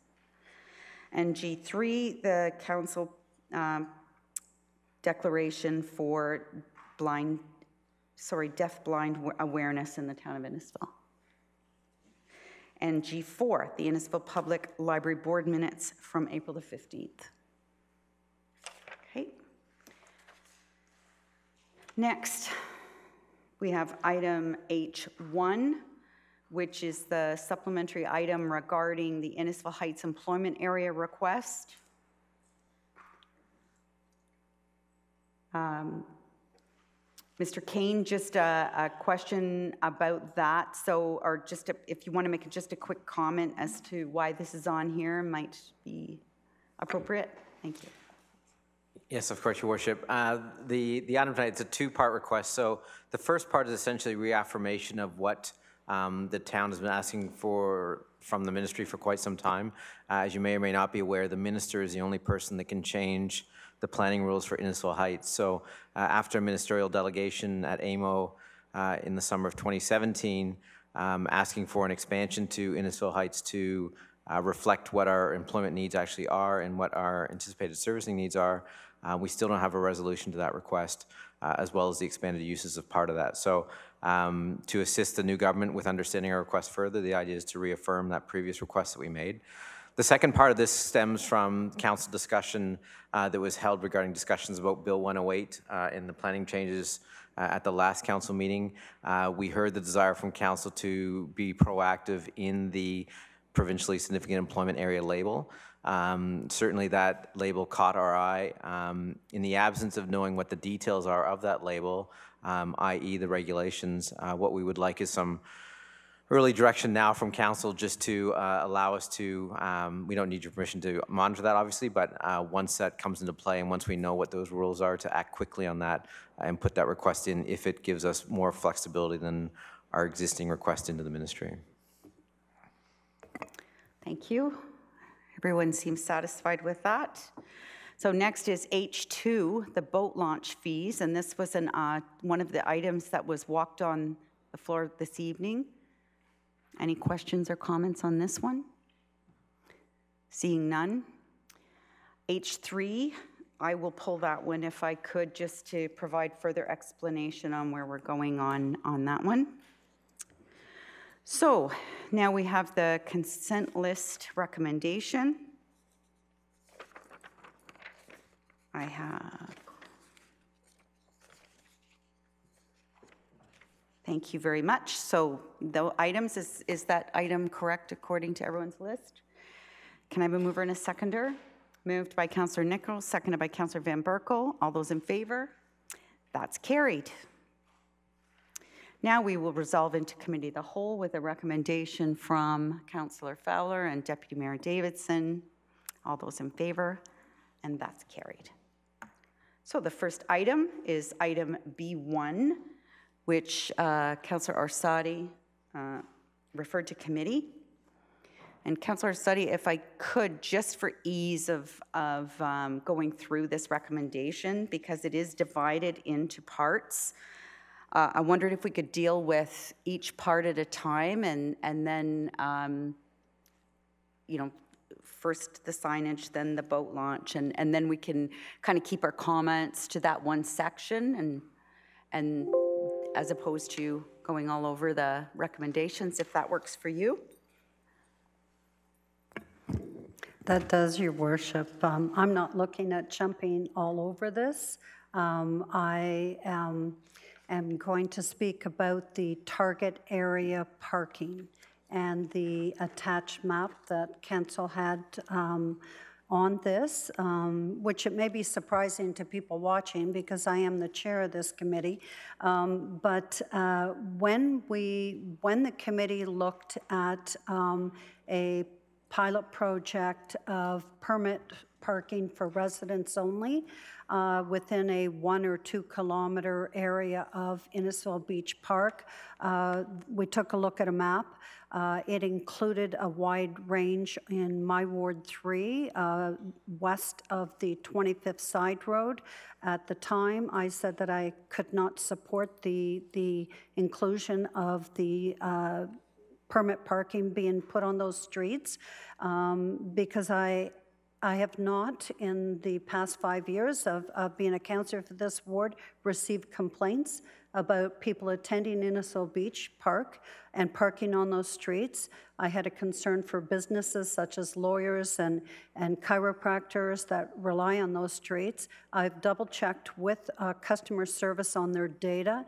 They have given out no tickets, no parking tickets uh, for the past year, and they have not received calls or complaints in regards to um, non-resident parking impact on those streets. However, with the recommendation that is in this report for that uh, pilot, there's always a consequential impact. And I just want to be prepared that, um, so I have an amendment um, for uh, staff uh, that I'd like to put forward uh, because I'm concerned that the consequential impact of putting non-resident parking on nowhere in all those other streets may push it to these three streets. And if they do, staff will provide that, and we would like to add that uh, pilot of no parking onto that. So hopefully that explanation is clear. Do you have a seconder, Councillor? I do. I have Councillor uh, Alex Waters. Thank you. Okay, any questions or comments on the amendment? And that's dealing with the uh, target area parking. Mr. Parkin. Sorry, Your Worship, did we have a mover seconder for the original motion as well? Councillor Orsatti and Councillor Councillor Fowler. Fowler. Thank you. Councillor Fowler. Thank you. So on the amendment? Uh, No, we've got a mover and a seconder already. I just wonder if there's questions or comments. Councillor Eisses. So I'm just trying to get my head around the, the motion as, as a whole. Okay, it- so if, I'm sorry to interrupt, Councillor, I- but I if, think it re- relates to, to this this amendment, because then we're going to, we're going to vote on the, on the motion as a whole, at which point we'll comment on the rest of it. okay, may, Just- I'll, I'll wait. So, sorry, but it's procedure. I apologize. Um, On the amendment, I'm wondering um, whether, if you look on the area of the map to the north, and I know that the uh, Innisfil Beach Park Ad hoc Committee did have a presentation from a lady who lived on Chestnut, who was interested in being in the targeted area as well. So I don't know whether, um, you know, the ward councillor would like to comment on whether Leonard, Chestnut, and the 10th would, should also be included either in the amendment or in the target area. Um, Deputy Mayor Tom. Uh, Thank you, Your Worship. I spoke uh, with our traffic analyst um, earlier today, and she had assisted in making this motion for Councillor Orsatti, and she included within that, um, uh, where is it, uh, parking related on streets neighboring the target area, including. So this is so that it- they are able to go outside of the target area and include other streets as they start to do their assessment uh, to report back to council. They may uh, go outside of that area as well. Thank you. That's satisfactory. Okay, so any comments on the amendment? All those in favor of the amendment, uh, Mr. Reynar? S- Sorry, Your Worship, uh, I I don't want to delay it. I'm just curious if, if uh, Councillor Orsatti meant to say that this, those results should go to the committee first and, and then to, to council, or if in fact council is taking this back over from the committee? Because I think, the- I think the concept is you want to know how it goes, and I, so, I think the committee, I, I think, does as well, uh, to be able to make any recommendations moving forward. So I just wanted to be clear uh, what, what your direction was. Thank you. It looks like I'm getting a nod from the mayor and in guidance, I, um, Councillor Orsatti, if you're looking for my opinion, I think that that, I think the, um, that the, the committee would very much be interested in hearing what those results are. thank you. So then we need to amend the amendment to report back. um, So we're going to have to report to the committee first, and then it'll be a follow-up um, council meeting. Worship, members of council, if I, if I could assist, uh, perhaps uh, you would like this report to go back to the committee uh, uh, in August, uh, and then from there, you could uh, see what the committee decides to do. Because I, I expect there's probably going to be a more wholesome recommendation about what to do next summer related to those results. So you may not need a specific report back on this item to council, because you get an overarching one. But certainly at that time, you could make the direction for that report to come forward to council specifically if you wanted.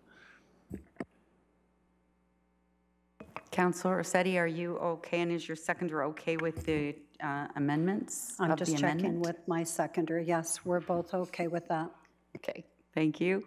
All in favor of the amendment as amended? That is carried. And now for the uh, entire motion, Councillor Eisses.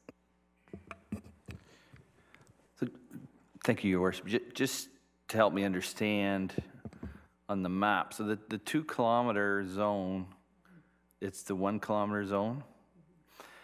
So if, if I am a resident there and I have somebody visiting me that is not a resident and he parks on the street, he'll get a ticket? Councillor Eisses, unless you give them your resident parking pass and they put that on their window. I thought that's what it meant, but I, I just want to be sure. I just, I'm wondering about, about the, uh, there, there would need to be a lot of communication on this, I think, just so everyone in that area would understand. Thank you. I think uh, if the community engagement team is going to be directed to, um, to dive deep, um, I think that the, that the group uh, worked hard to try to find the affected area, um, the homes that have been affected over the, over the years, um, and to try to find a solution. When we go out to consult with the residents, they might think this is a really bad idea. We don't know. But um, it was the committee's best um, idea coming forward to see what we could do about um, the unsafe conditions that are created when people park on both sides of the street. Councillor Orsatti? Just um, as a follow-up to uh, Councillor Eisses, um, what I've recommended uh, previously in the uh, Lakelands northern areas um, is that um, if you had guests that were attending, you have your parking permit, you park on the street and let your guests park in your driveway, and it seems to resolve it and work. But, you know, this is about a pilot and seeing how it works, seeing if it takes the strain off of uh, the, the community and getting the information back. And, um, the mandate was to, um, to look at the, the pressures on Innisfil Beach Park and the, um, the consequential impact on all the residents that uh, live on these surrounding streets. Any other questions or comments on this? Uh, Mr. Inwood. Uh, Thank you, Your Worship. Uh, Just a quick scan on our uh, Rover app, and I can confirm that there's, it looks, just quick scan, it looks like there's about 45 or 50 spaces within that target range uh, available for folks that are coming to visit, um, or if they need overflow parking. Mr. Reynar. Uh, That's excellent, Mr. Inwood.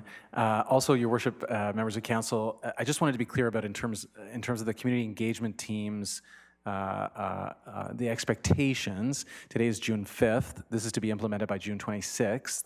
What that really means is that we'll probably do a direct mail to those residents in this area. That's really the only way we can guarantee that, that we're getting to those people.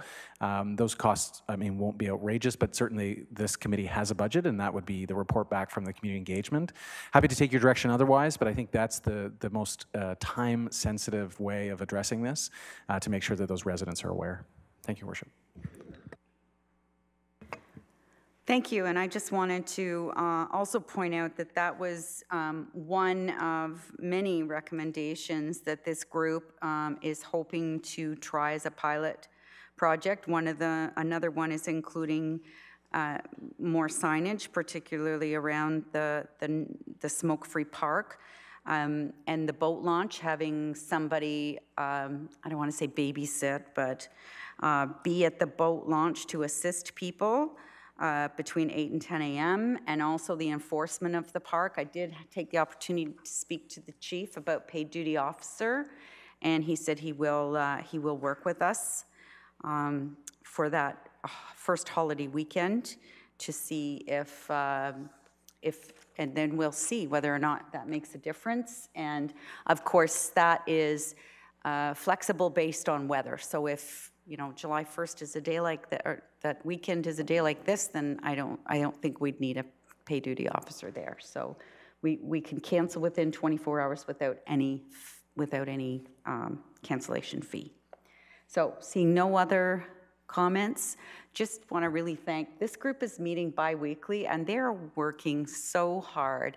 And it's a real diverse group of people and they're really putting 100% in and, and some have, you know, there's, there's a variety of, of ideas and trying to, to come to a spot that everybody can live with. It's been a lot of work, uh, and I hope that, uh, that we get some success out of it. All in favor of the recommendation? Thank you.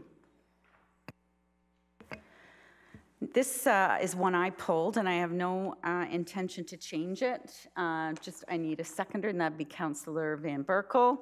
Uh, It's in regards to the Carson Creek Dana- Drainage Award, and I'm really happy to see this come forward. And I wondered if I could ask uh, Mr. Ninehouse if we've had some significant, and I guess, and Mr. McKenzie, we've had some significant complaints at the um, Carson's Creek um, in parts of it that have been quite silted this year, and I wondered if some of this bank erosion has been contributing to that, or uh, do we still think it's, um, it might be development? Uh, To you, your worship, I believe it's, um, this may have a small um, proportion of that sediment, but I think uh, the majority was development earlier in the spring, but we have uh, been working with the developers to tidy that up. Um, But I I haven't looked for this erosion to see if, how much it's contributing, but I'm I'm- I'm sure it's a small percentage. Thank you. Councillor Van Berkel. Thank you, Your Worship. Uh, I did look because I live right there and, uh, and actually, I own probably about 300 feet along Carson Creek there and I was fairly clear this the last two rains, so I think they've been doing some work. Otherwise, I would have complained. Thank you. All in favor of the recommendation? That's carried. Next is item G1, and I, Counselor Fowler pulled this one. Um, I'm bringing this up for discussion primarily because of optics in regards to this matter. Uh, I was not aware of the situation as it evolved until I've had a number of residents come and speak to me about this. Um, as it currently stands, Leonard's Beach is a very, very busy place in the summertime with the with the issues with the parking, with the issues with the garbage. I, I'm sorry, did, did you have a recommendation, Yeah, I and did wanna you have a mover and a seconder? Uh, yeah, thank, yeah, please. And is the recommendation that it be received as information? Uh, I'm actually going to get some, inf- I want to get some information from Mr. Inwood and uh, Ms. Botham if possible before I actually move it forward. So uh, the recommendation on the floor right now that you're speaking to is receive as information, and then you can change that on the fly if you need to, Counselor. Okay, perfect. Mr. Reynar, sorry. Uh, Your worship, members of council, certainly happy to provide some more information to council to- as they consider this item. Uh, Mr. Inwood and Mr. Bo- and Ms. Botham, pardon me, um, uh, will be happy to provide more information. I think two critical pieces for you to consider. One is that this was in place last year, so we do have protocols around how this will work. Uh, I, I certainly take the residents' uh, point and uh, about managing this in the early part of the season. Uh, one of the challenges we always have is that the park and its users uh, look very differently in early May than they do in July. And part of it is, and I think the resident's quite right, is about managing those expectations, right? So uh, if people are paddleboarding right in front of the beach wherever all the kids are going to be swimming, we, we've got to communicate that that while that may be possible in early May, it's certainly not possible in early July. Uh, so we certainly take those points. Uh, but we have had some experience with this, uh, given our, our contract that has been signed uh, with this vendor uh, for this season and for last season. And so there are contract implications if, if you decide to do something else with this tonight. Uh, if you do, I'd invite you to ask staff for a report back before, just so that you can consider those contract implications. Thank you, Worship. Thank you, thank you, Mr. Reynar. And I, I believe it was, I could be wrong, and I'm going to ask Ms. Botham to come up to the mic if you don't mind. But I believe it was only Mapleview last year. I'm not sure if it was at Leonard's also last year, but I, I, I'm not the expert on that. So, I'm happy to give you some um, Thank you. background information, um, Your Worship. Um, In early 2018, um, we we finished our pilot um, in Innisfil Beach Park that had a stand-up paddleboard um, company in there. It ended in uh, 2017, so we went back out to the public. And um, because the residents had requested um, additional locations, they felt that they couldn't utilize the stand-up paddleboards on weekends um, in Innisfil Beach Park because it is so busy. Um, We decided as staff to extend it to uh, the 12th line, uh, Gilford, and the 10th line for open vendors, Um, We came back with none for Innisfil Beach Park, and this one vendor, the Northern Stand-Up Paddleboards, um, that was interested at the 12th line and the 10th line. Um, because we were under construction at the 10th line last year, he didn't want to encroach on any more of the parklands, so he went at the 12th line only. We did have some um, similar concerns at the beginning of the season. Um, I think the mayor and I answered three, two or three questions. Um, as the season progressed, we monitored it, municipal- law monitored it, and we had no other um, resident concerns. Um, a lot of the people that are attending um, this vending is our local residents. Um, yes, he also did services in Barrie, um, but our hopes is that we're going to supply our residents with a new opportunity. Um, as far as last week, um, I know a lot of the residents were noticing that we had quite a few um, paddleboarders. That was training. So they had 12 uh, paddleboarders at the location. Yes, they were in closer because they were during their coaching and their training, and those people were parked in the um, a resident parking lot. Um, moving forward, the intention is that he will run um, programming two evenings during the week and two, possibly two mornings, a sunset, um, possibly two mornings of the week. So it's kind of off. Um, off time for us as far as those, those parking lots. The weekend intention is rentals only. So the intention is he's going to be renting to the people that are already coming to the park. The intention is not to um, bring additional non-residents or such to that park. It, it is to rent to the existing clientele that's already there, whether they be residents or non-residents. Um, the other concern was the location of um, his setup.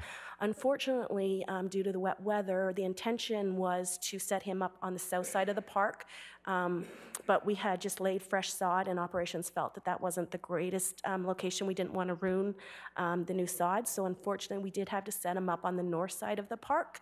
But the intention is that they will enter in and out of the park on the north side so that they're not um, disturbing the swimmers. Um, and they will be outside that swim area. It is, um, we have, sp- I've spoke to the vendor. He's quite aware that it'll be outside that, um, that swim area.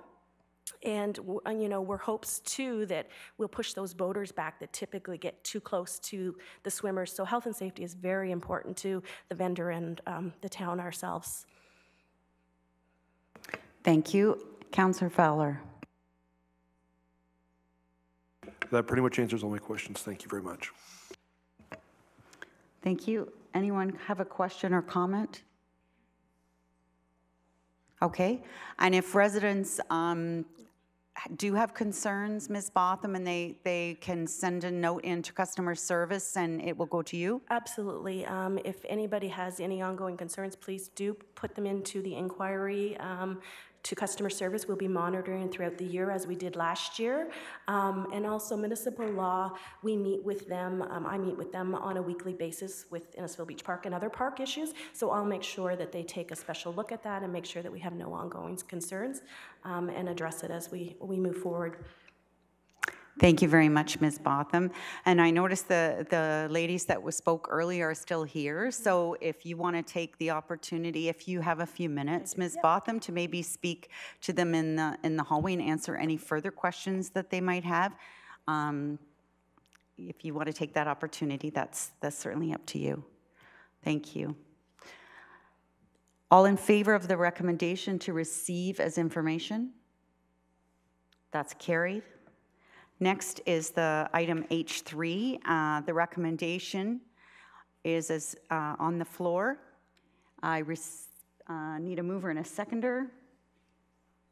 Councillor Eisses and Councillor Deputy Mayor Davidson. I believe I um, sent an email to council about this, but for um, uh, full transparency, I just wanted to speak to it for a moment.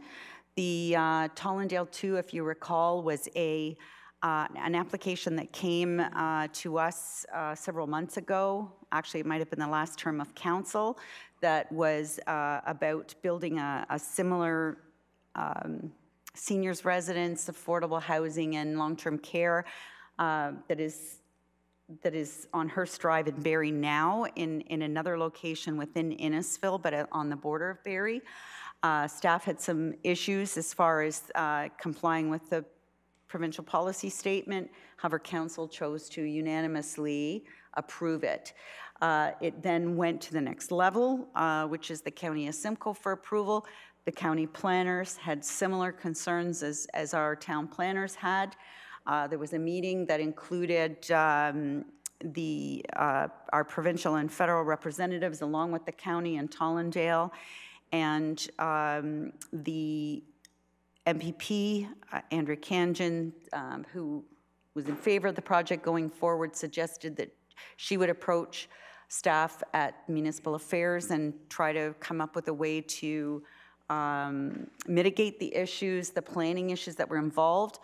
Um, her, the, her advice to Tollendale is to apply for a ministerial zoning order. Uh, It's a fairly heavy-handed tool. It's not used very often, but uh, it has in the past been used. The most recent was Burl's Creek Event Park, uh, was given a ministerial order by Minister Clark not that long ago. So um, the suggestion is that the ministerial order is kind of the cleanest and quickest way uh, for them to move forward.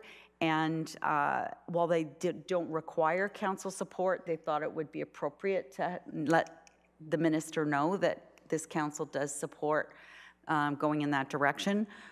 What I'm particularly pleased about is if it's, if, if it's a ministerial zoning order, it won't be, well, I mean, it won't be easily precedent-setting because any other uses uh, surrounding Barrie would have to go through the same process, and, and it's, like I said, it's a tool that's not used that often. So um, I'm sorry to just throw this on at the last minute, but the proponents are anxious to get, uh, to get in, to get this support letter. So that is why it's been walked on, and I appreciate this council's um, consideration of this this evening. So if I could, um, I got a mover and a seconder, didn't I? All in favor? Oh, question, Councillor Nicol. Thank you, Worship. Yeah, actually, I did miss the meeting where this was voted on, so I, I didn't get a chance to speak to it at all then. Um, I'd never heard of this before, so I did look onto it. And according to the province own webpage, this is a rarely used zoning order, especially where municipalities have existing or don't have existing zoning bylaws. They're used to protect provincial interests, mostly in northern Ontario, where there's no local municipality or zoning bylaw. But we do have zoning bylaws, we do have a local government. And our planning staff and the county staff did oppose this, this location. Um, I'm not going to sit and argue tonight about it because I think it would be a true benefit to the community. And obviously with support from MP Brassard and MPP Khanjin, it showcases that we all feel the center would be beneficial to the community. But every turn, it seems we're circumventing the rules to try and stuff this into one location. And I really wish there would have been an alternative site for this. I'm not going to fight council on it because the will of council has already spoken, but I just feel that we've, we're, this, this proposal seems to be grasping at straws at, at every angle, trying to just get into that one spot. And I think it would have been more beneficial here at the campus node or some other spots where, where it could be fully serviced by InnServices. So that's all I'll say. Thank you for those comments, Councillor. Any other comments?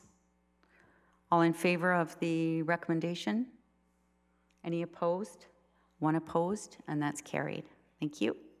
Next, we have a RISE recommendation, um, moved by Deputy Mayor Davidson and seconded by Councillor Fowler. Rise and report back. All in favor? That is carried. And the recommendations from tonight's Committee of the Whole adopted as resolutions of council, moved by Councillor Eisses, seconded by Councillor Seti. All those in favor? That's carried. And next, we're on to announcements. Anyone have any announcements? That's not an announcement. Okay. Councillor Seti? Sorry, uh, Your Worship, just when you were talking about the Simcoe County app is, uh, there's a good little uh, information on there with the upcoming clothing uh, collection for a Monday, June 24th, and information on that as well. Thank you very much for that. I have a couple of announcements quickly. I just wanted to let you know that last night it was a privilege to attend the Innisfil Lions Charter Night. And, uh, and there was several Lions there that received uh, both attendance awards and, and awards of recognition. They're, they're a small but mighty group. They certainly do uh, a lot of, of work for us. Um, also, the, on June the 12th is the Rotary flag raising, and they're doing that in honor of their 10th anniversary. Ice Corp has got their Rib Fest coming up June 14th to 16th. And the on June 22nd is the 40th anniversary of the Innisfil Garden Club. June the 10th is a concert that's put on by the Innisfil Heart, Arts and Heritage Committee. So what I'm getting, it's a theme here. There's so many organizations, volunteer organizations in our community that work so hard to do all of these things. And um, we're just so fortunate to have so many people who are so um, committed to our community. And other than that, uh, two other items, sorry, three other items. We, uh, tomorrow is the launch of uh, the Drive Safe campaign that South Simcoe Police will be doing at uh, Shores Secondary School.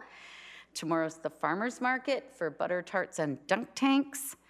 And also on Friday night, uh, council will be uh, hosting Game Four of the uh, of the Raptors uh, here uh, at Town Hall. Uh, we're going to be doing it uh, outside if it's nice, inside if it's not nice.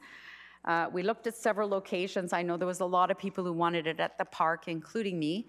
But unfortunately, we couldn't guarantee that we would, um, with the internet live streaming, that we would get. Um, and I can't imagine if it was near the end of the game and all of a sudden the internet cut out. I don't think I'd want to be in the park if that happened. So uh, we'll try this, see how it goes, and hopefully when we have our new town square, we'll have uh, we'll be nimble enough to be able to host these events at the drop of a bucket because it'll be we'll have that design built into the town square in order to um, you know, at, at, at a moment's notice, come up with, with this type of an event for our, our community. Any